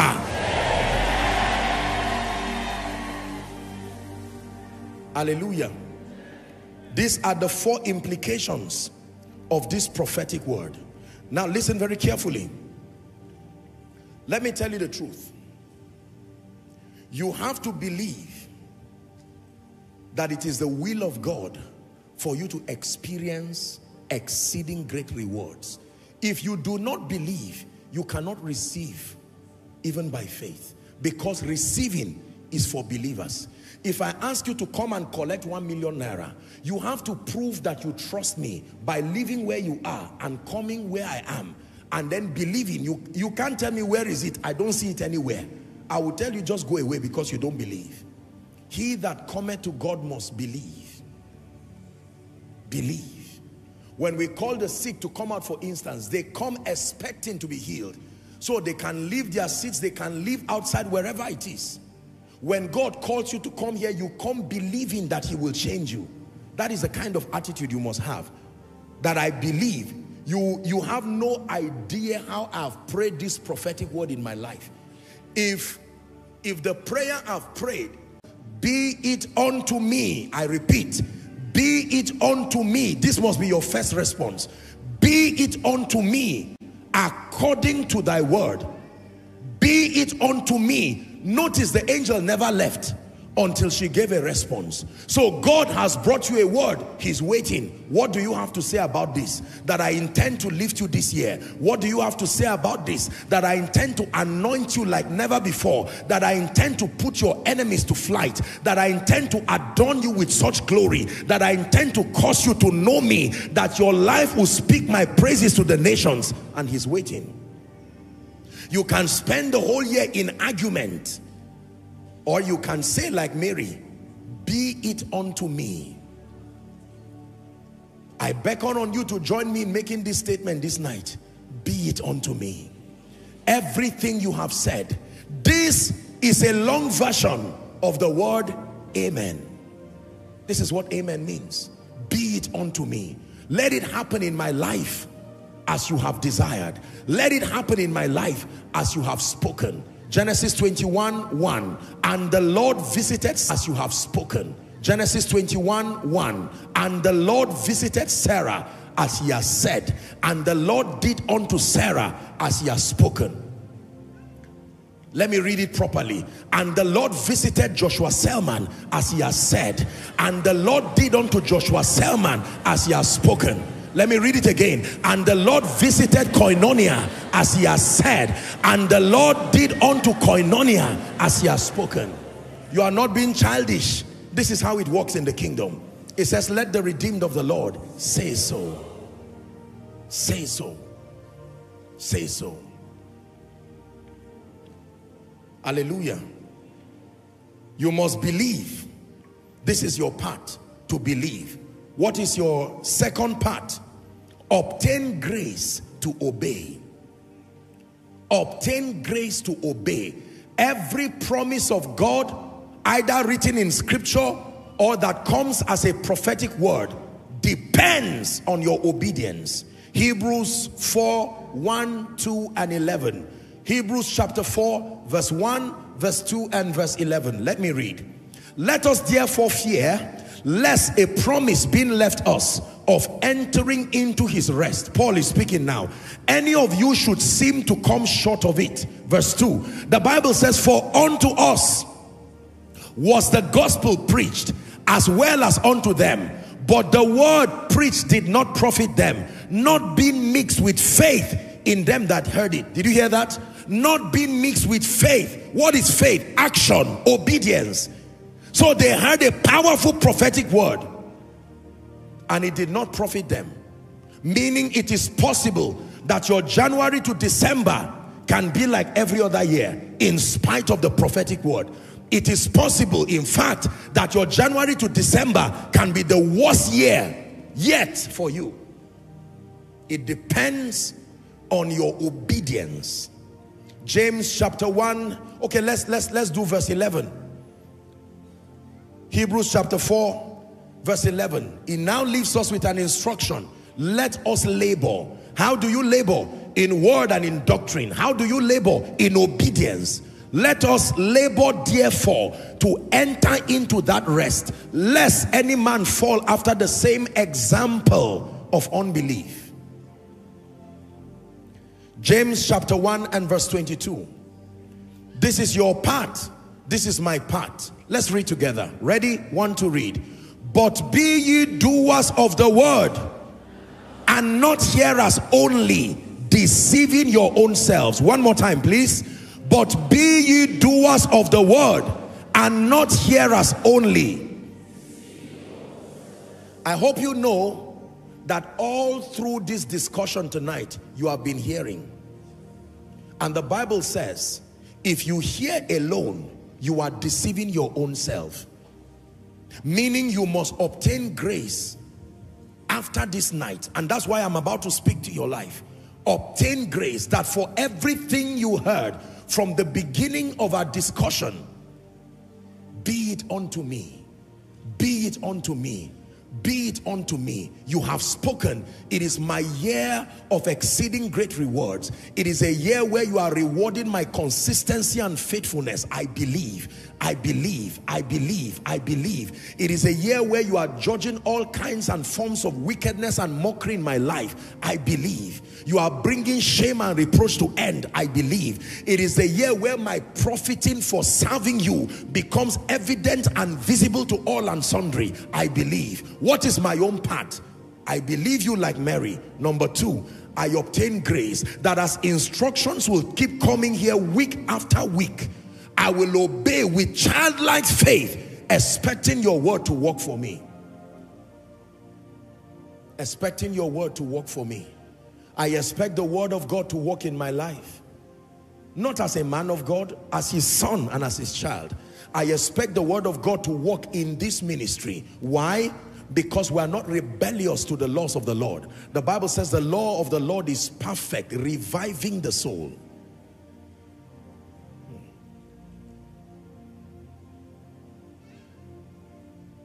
This year can become your best year ever through obedience and faith. Or this year, listen, the other side of all this encouragement, I'm telling you, I'm not a prophet of doom. But remember, I brought a prophetic word here last year while I was teaching I shall not want about the things that I saw. You see, I love God and I don't have time coming to prophesy nonsense. It's, it's not, I don't, um, I respect God and I respect myself. I don't want to come and just talk rubbish when I come up here. But when God impresses upon my heart and I come up and declare to you and to the body of Christ that this is what I saw, God will always bring a way of escape. And the way of escape is what has come through this prophetic word.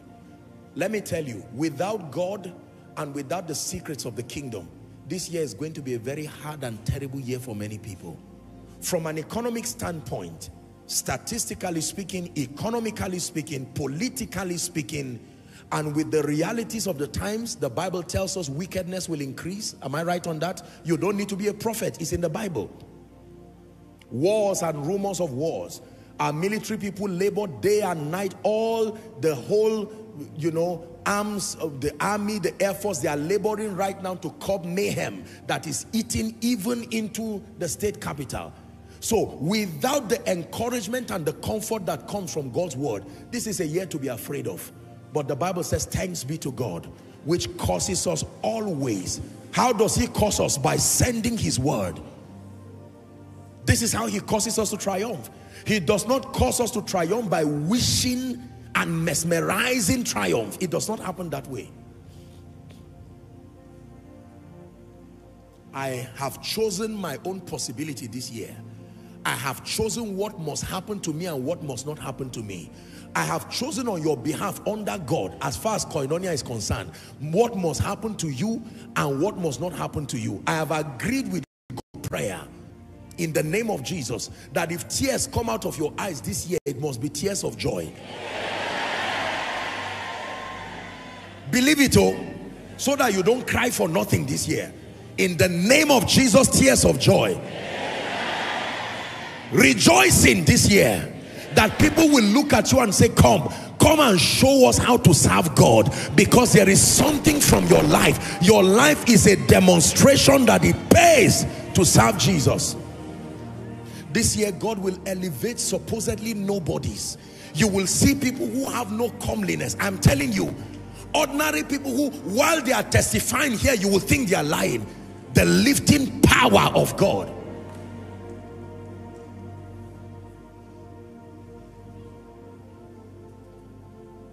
He reigns. He reigns. You are standing by my side to bring your word to pass. He reigns. He reigns. My God, He's an awesome God. He reigns. He reigns.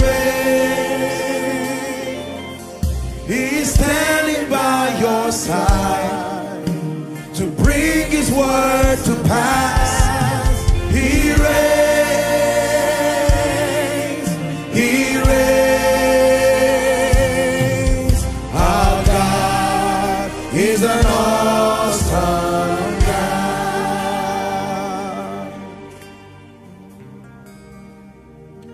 This is what God wants to do. God wants to make a wonder out of our lives. God wants to make a name for himself in and through your life. And I tell you whether you are in the main auditorium or all the overflows down to the basement or outside or following online, it doesn't matter where you are. I want you to connect within the few minutes we have because I truly want to speak. It is the prophetic word that releases the grace the grace behind these speakings of God for us. There is a grace that God gives men for the sake of those he's sending you to. Let me show you a scripture. Ephesians 3 and verse 2.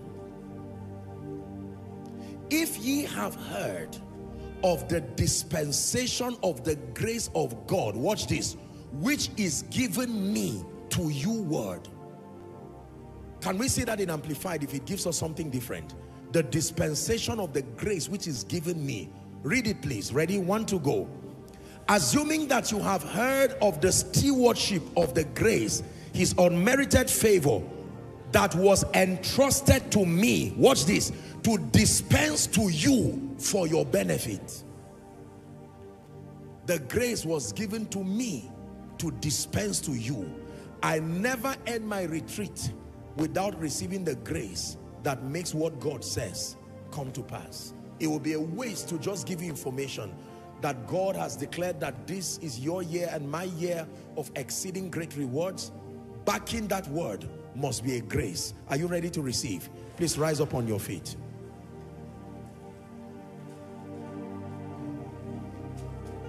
Rise up on your feet.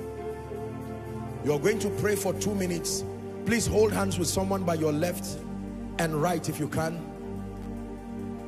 Except for those working, everyone should be making contact with someone. We're agreeing as a family of faith right now. Those outside, make sure you hold someone by your left and right. In the next one minute, we're going to pray as a global family. Be it unto us, Lord, we believe be it unto us everything you have said concerning 2024 from January till December we believe. Go ahead and pray. You are holding the hands of someone we're engaging the weapon of unity and we're making faith declarations. Lord we believe. Over January over February over March over April over May June July August September October, November, December 2024 we agree there will be no death no shame no mockery. Outside are you praying? Overflows are you praying? Koinonia global pray. Body of christ those connected. This is not just for koinonia. It is a reality that extends to the body of christ. We can tap by faith with understanding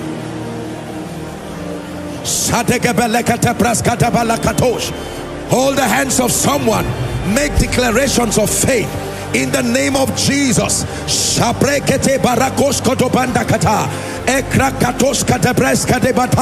In the mighty name of Jesus, we decree and declare, be it unto us everything you have said, be it unto us that this year the profit that comes from loving you from serving you will be evident to all and sundry. We believe.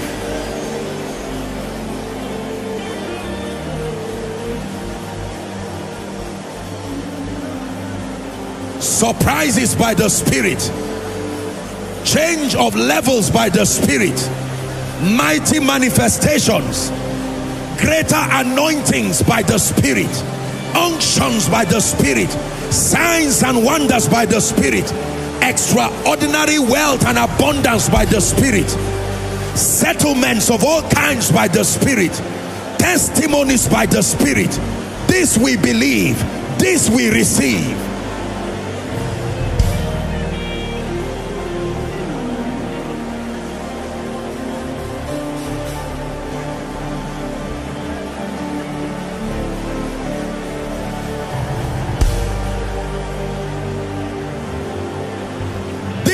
believe.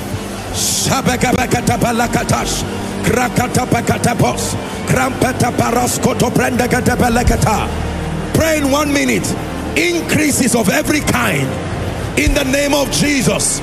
Spiritual growth, increase, breaking lips and bounds by the Spirit of God, by the Spirit of grace.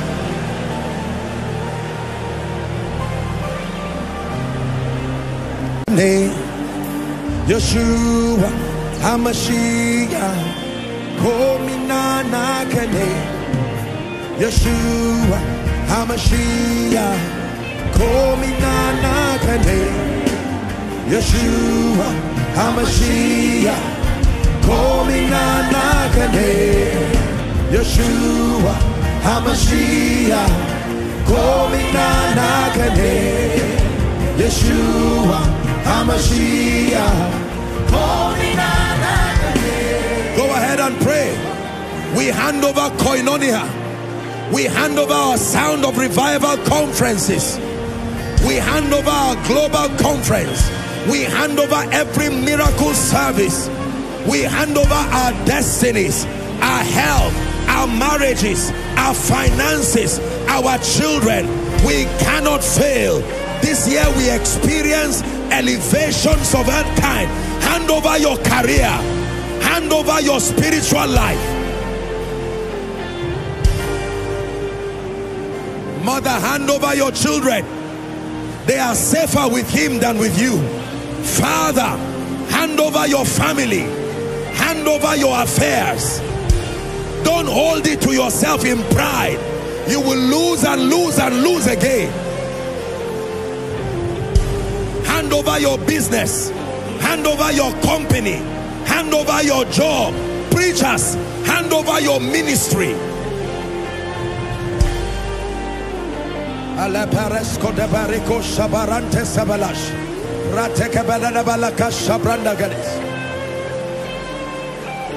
Hand over your music ministry.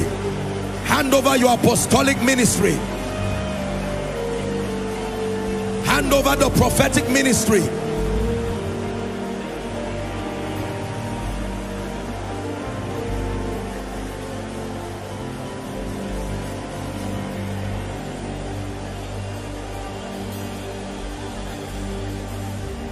In Jesus' mighty name we pray.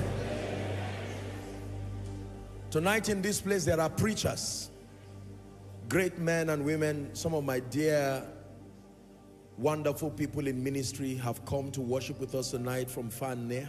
In this place tonight there are businessmen. In this place tonight there are career people both excelling and struggling. In this place tonight, there are family people trusting God for all kinds of testimonies or celebrating Him in thanksgiving.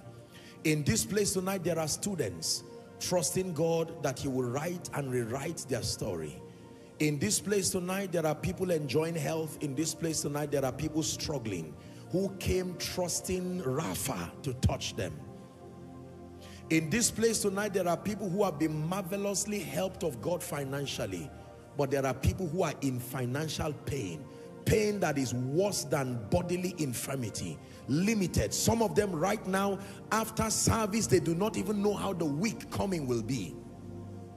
In this place, there are people who have been in debt, threatened by all kinds of debt. Like the wife of the sons of the prophet. In this place, there are people who have enjoyed the arrival of children in this place, there are others who have lost loved ones. Can I tell you?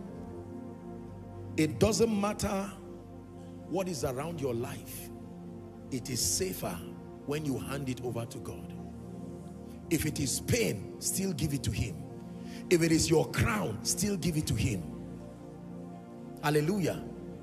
I was teaching over at the concert, the worship concert in Zaria to wrap up last year. And one of the things I taught them was the various templates of worship in the Bible. There were various templates, three of them. Number one, Job. Job lost everything. And the Bible says he bowed himself and worshiped. Number two, the woman with the alabaster box. One of the synoptic accounts would tell us that that was a woman who was a harlot. She had a terrible past, a past that should not be desired by anyone. So here on one side is a man who was once great and he went from grace to grass. He lost everything and his response was worship. Here was a woman who had a terrible past that would not even want anybody to know. Her response with her alabaster box, worship. And then the Bible finally teaches us the worship in heaven, the four and twenty elders.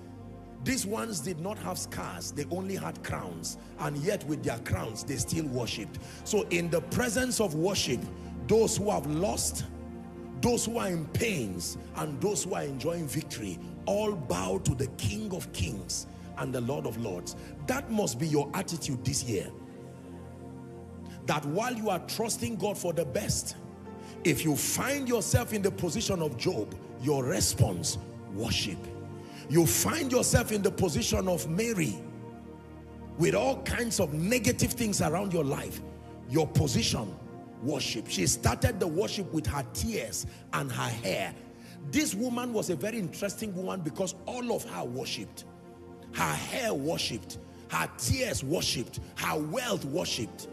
And then for the 20 and 4 elders, they drop their crowns. You don't receive crowns as a gift. It is a reward.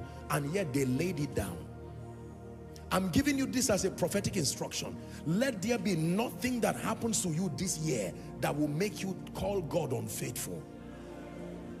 You're, eh, from now, you live rejoicing and say, Lord, you are faithful. If you find yourself as an elder with a crown on your head, receiving rewards like we expect, your response is worship. You find yourself with yesterday being painful and bitter, for your family, for you, just help those under the anointing. I see some people under the anointing. Your response is worship. You find yourself like Job. Perhaps last year it was great. Towards the end of last year, things just crashed down financially or otherwise. In any case, your response is worship. Let me speak over your life now. You don't have to kneel, please stand. Father, in the name of Jesus, you have anointed us afresh for this season and for the sake of your people. In the name that is above all names, I decree and declare the grace that is behind this prophetic word exceeding great rewards may that grace from today begin to follow you. May that grace from today begin to follow you. Let it follow you in ministry let it follow you in business. Please hear me. In the name of Jesus, shame and reproach over your life. We preached on Ichabod last year. Whatever has made men to call you Ichabod, I declare, like Rahab the prostitute, may God rewrite your story. Like Ruth in the Bible, may God rewrite your story. In the name of Jesus Christ. I pray for you. Every long-standing testimony that you have trusted God for let this be the year of speedy performance. The year of speedy performance. Let me prophesy in the name of Jesus. Let there be supernatural marriages this year. Supernatural marriages this year supernatural children this year. Supernatural jobs this year. Supernatural liftings this year. Supernatural restoration this year. Hear me. There are some of you here. Before we get to June you will be so empowered. You will take care of your entire family as a single person. I say it again my God will lift you and empower you. You will take care of everyone as a single person. There are ministries here who may be small in terms of impact but in the name of Jesus as this grace comes upon you you will expand like the clouds in the sky. You will expand like the clouds in the sky. You will expand like the clouds in the sky.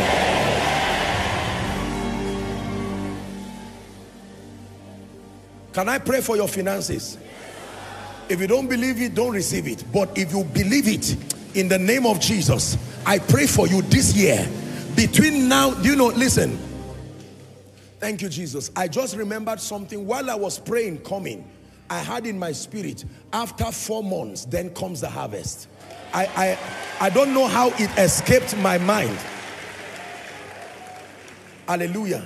You see the you see the, the benefit of the Holy Spirit I think I, I can't remember if I wrote it or not I was praying just before I would come I kept hearing it in my spirit. After four months, then comes the harvest. After four months, then comes the harvest. Whatever that means to you, I pray for you that in the name of Jesus, literally within four months and prophetically within four months, may your harvest be delivered to you. May your aparakas kote prekete balakatosia. May your harvest be delivered to you.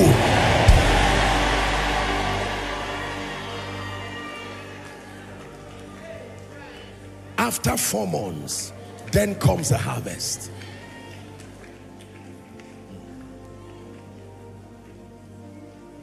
Everything that has crippled you economically, tied your hands, tied the hands of your spouse, receive this one, oh, tie the hands of your loved ones, so that you cannot rise. Rent you cannot pay. You are building you cannot complete. Children cannot go to school. I pray for you. May my god who is ebenezer arise and wipe that shame from your tears. Wipe that shame from your eyes. Wipe that shame from your life in the name of jesus I pray sincerely for any man of God here who has been struggling in ministry. You love Jesus with all your heart, but there are results you have desperately prayed that they happen. I pray for you between now and the next four months. May God surprise you. Everyone in business, hear me. I pray for you. This is your year. This is your year. This is your year. This is your year I decree rise. I decree shine. Go and excel in business. In the name of Jesus. Now hear me.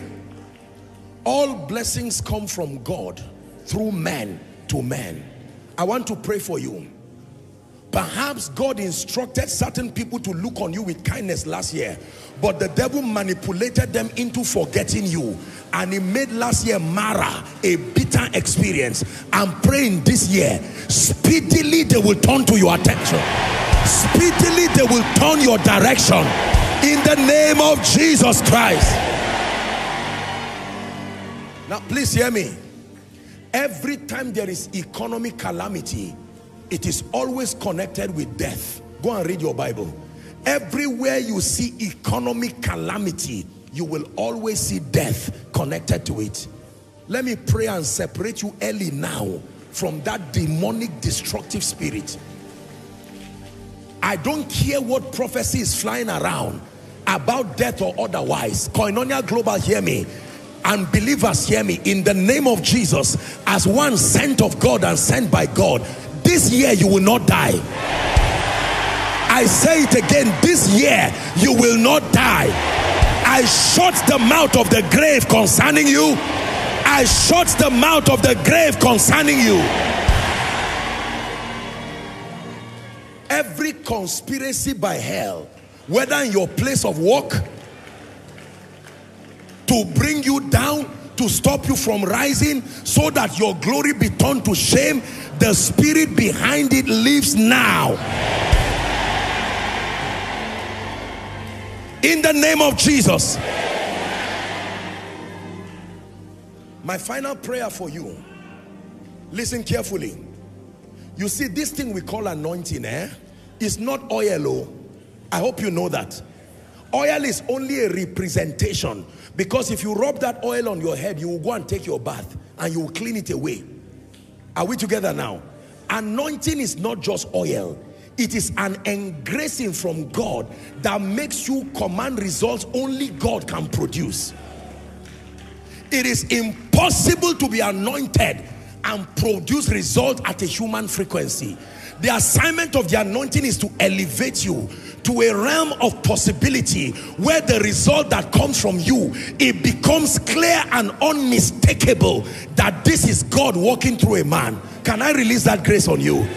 The grace for extraordinary results. Results beyond human comprehension. Receive that anointing now. Receive that empowerment now. Receive that empowerment now. By reason of this prayer, I call you a sign and a wonder. I call you a sign and a wonder. In the name of Jesus Christ. So shall it be. So shall it be.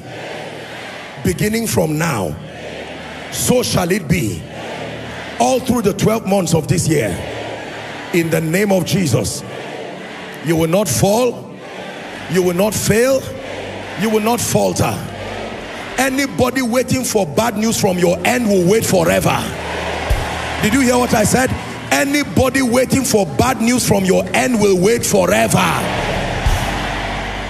As for you, the Lord is your portion. You will rise above your enemies. You will smite your enemies on the cheekbone. In the name of Jesus. Wave your hands together and give Jesus praise. It's, an, it's, it's a wave offering. Wave your hands together. Give him praise. In the name of Jesus, the Son of the living God, to you be all the glory. In Jesus' mighty name we pray.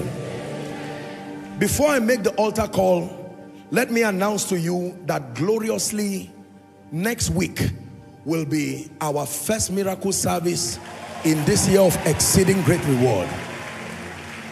One of my covenants with God this year is to really take time by the grace of God and minister to the needs of people, particularly people who are sick and people who are oppressed.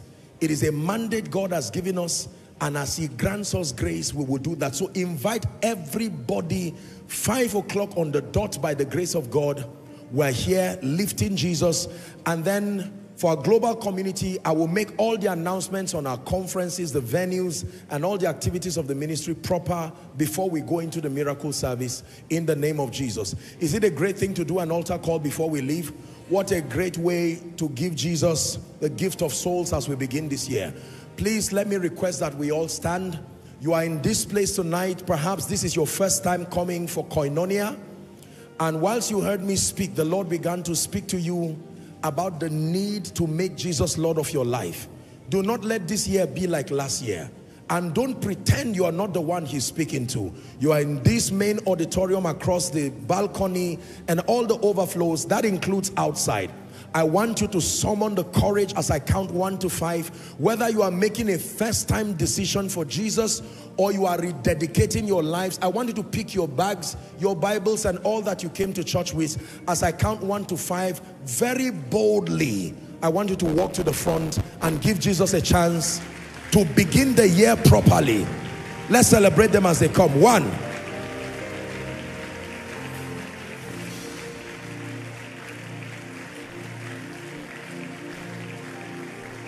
Two, you do not want to waste your opportunity. It is a year of great rewards. Start on a good note. Jesus loves you. He died for you. It doesn't matter what you have done or not done. He's giving you a chance to make it right with him. Come. Three. I count five and then I begin to pray. For all those who are coming, who are nearby, please let them come. Zaria, make sure you come as many and every other expression, please come. Those who are watching from any homes or any satellite center, wherever it is across the globe, you can do an altar call right there. Those who are watching in your home, anywhere you have set up, please make sure that you do an altar call right there. Let them come. We want to make this decision. Make up your mind that 2024 will be a year that I start afresh in victory. Hallelujah. Thank you very much for making this glorious decision, brothers and sisters. I want to thank you for coming to Jesus. Listen, it is the wisest decision that any man can make in this side of God's kingdom. And I thank you for the courage to come. We love you. We do not condemn you. We love you. And God is going to make a sign and a wonder out of your life even from today. May I request that you lift your right hand as a sign of surrender to Jesus. Say this after me and mean it from your heart. Say, Lord Jesus. Say it again. Lord Jesus, tonight I have heard your word. I believe that you are the son of God. I believe that you died for my sin. I believe that you rose again for my justification. Right now, I receive Jesus into my heart as my Savior, my Lord, and my King. I declare that the power of sin, Satan, hell, and the grave is broken over my life. From tonight, I'm a child of God. I go forward ever and backward never. Amen. Keep your hands lifted and let me pray for you. Heavenly Father, thank you for my precious brothers and sisters. They have come declaring the Lordship of Jesus over their lives. The Bible declares that as many who will come to you, you will in no wise cast away. They have come. Thank you for receiving them. And based on the authority of scripture, I declare your sins forgiven and I speak over you that you begin afresh with the Lord from today. We call you the righteousness of God in Christ Jesus. You go from glory to glory and grace to grace. Amen and amen. Please may I request that you look to my right, that will be your left. There are a group of counselors. Please do cooperate with them for a minute or two. They will have your details very quickly and then you return to your seat. Let's honor them as they go. Let's honor them. Give them a big God bless you. Hallelujah. Now, um, just as a confirmation before we wrap up, I hope everybody, we've produced the stickers for 2024. I hope everybody has got his own. Is there anyone who is yet to get? If you're yet to have yours, you can just wave your hands. Um, as always, we do these things out of love. It's completely free. It's a love gift to everyone. And um, I pray that it is a blessing. It's not anything to idolize, but I can tell you it sure contains the power of God. The Bible says, whatsoever is born of God, the money that was used to make it was not stolen money. It is born of God, therefore it overcomes. Everything that comes and emanates from this house carries the power of God. And if we engage faith, it will produce wonders. So please, if you're yet to get your stickers, there is the sticker, Jesus revealed, Jesus glorified, to remind you of our corporate mandate. And then, of course, for the year, you can do well to see the ushers immediately after service and they'll hand yours to you in the name of Jesus. I want to appreciate um, dear sons in ministry who have come. Um, Pastor Ike from Asaba, may God bless you in the name of Jesus. Good to see you in gathering. And I spotted um, Apostle Jonathan, where is he? I spotted him somewhere. God bless you in the name of Jesus. From glory to glory. And every man of God who has come from far and near, may the Lord bless you, our international guests. Thank you so very much in the name of Jesus. Let's share the grace together in fellowship.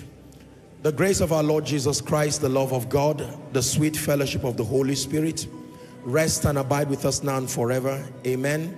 Surely goodness and mercies will follow us all the days of our lives with, as we dwell in the house of the Lord forever and ever.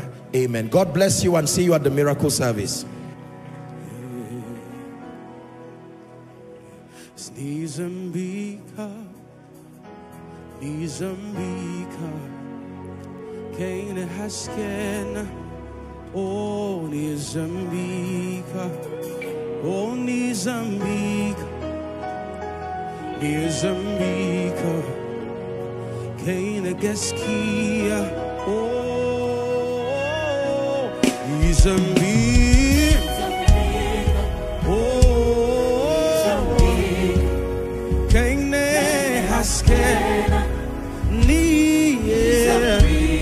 Nizambika, Ya Yesu Nizambika, Oh Nizambika,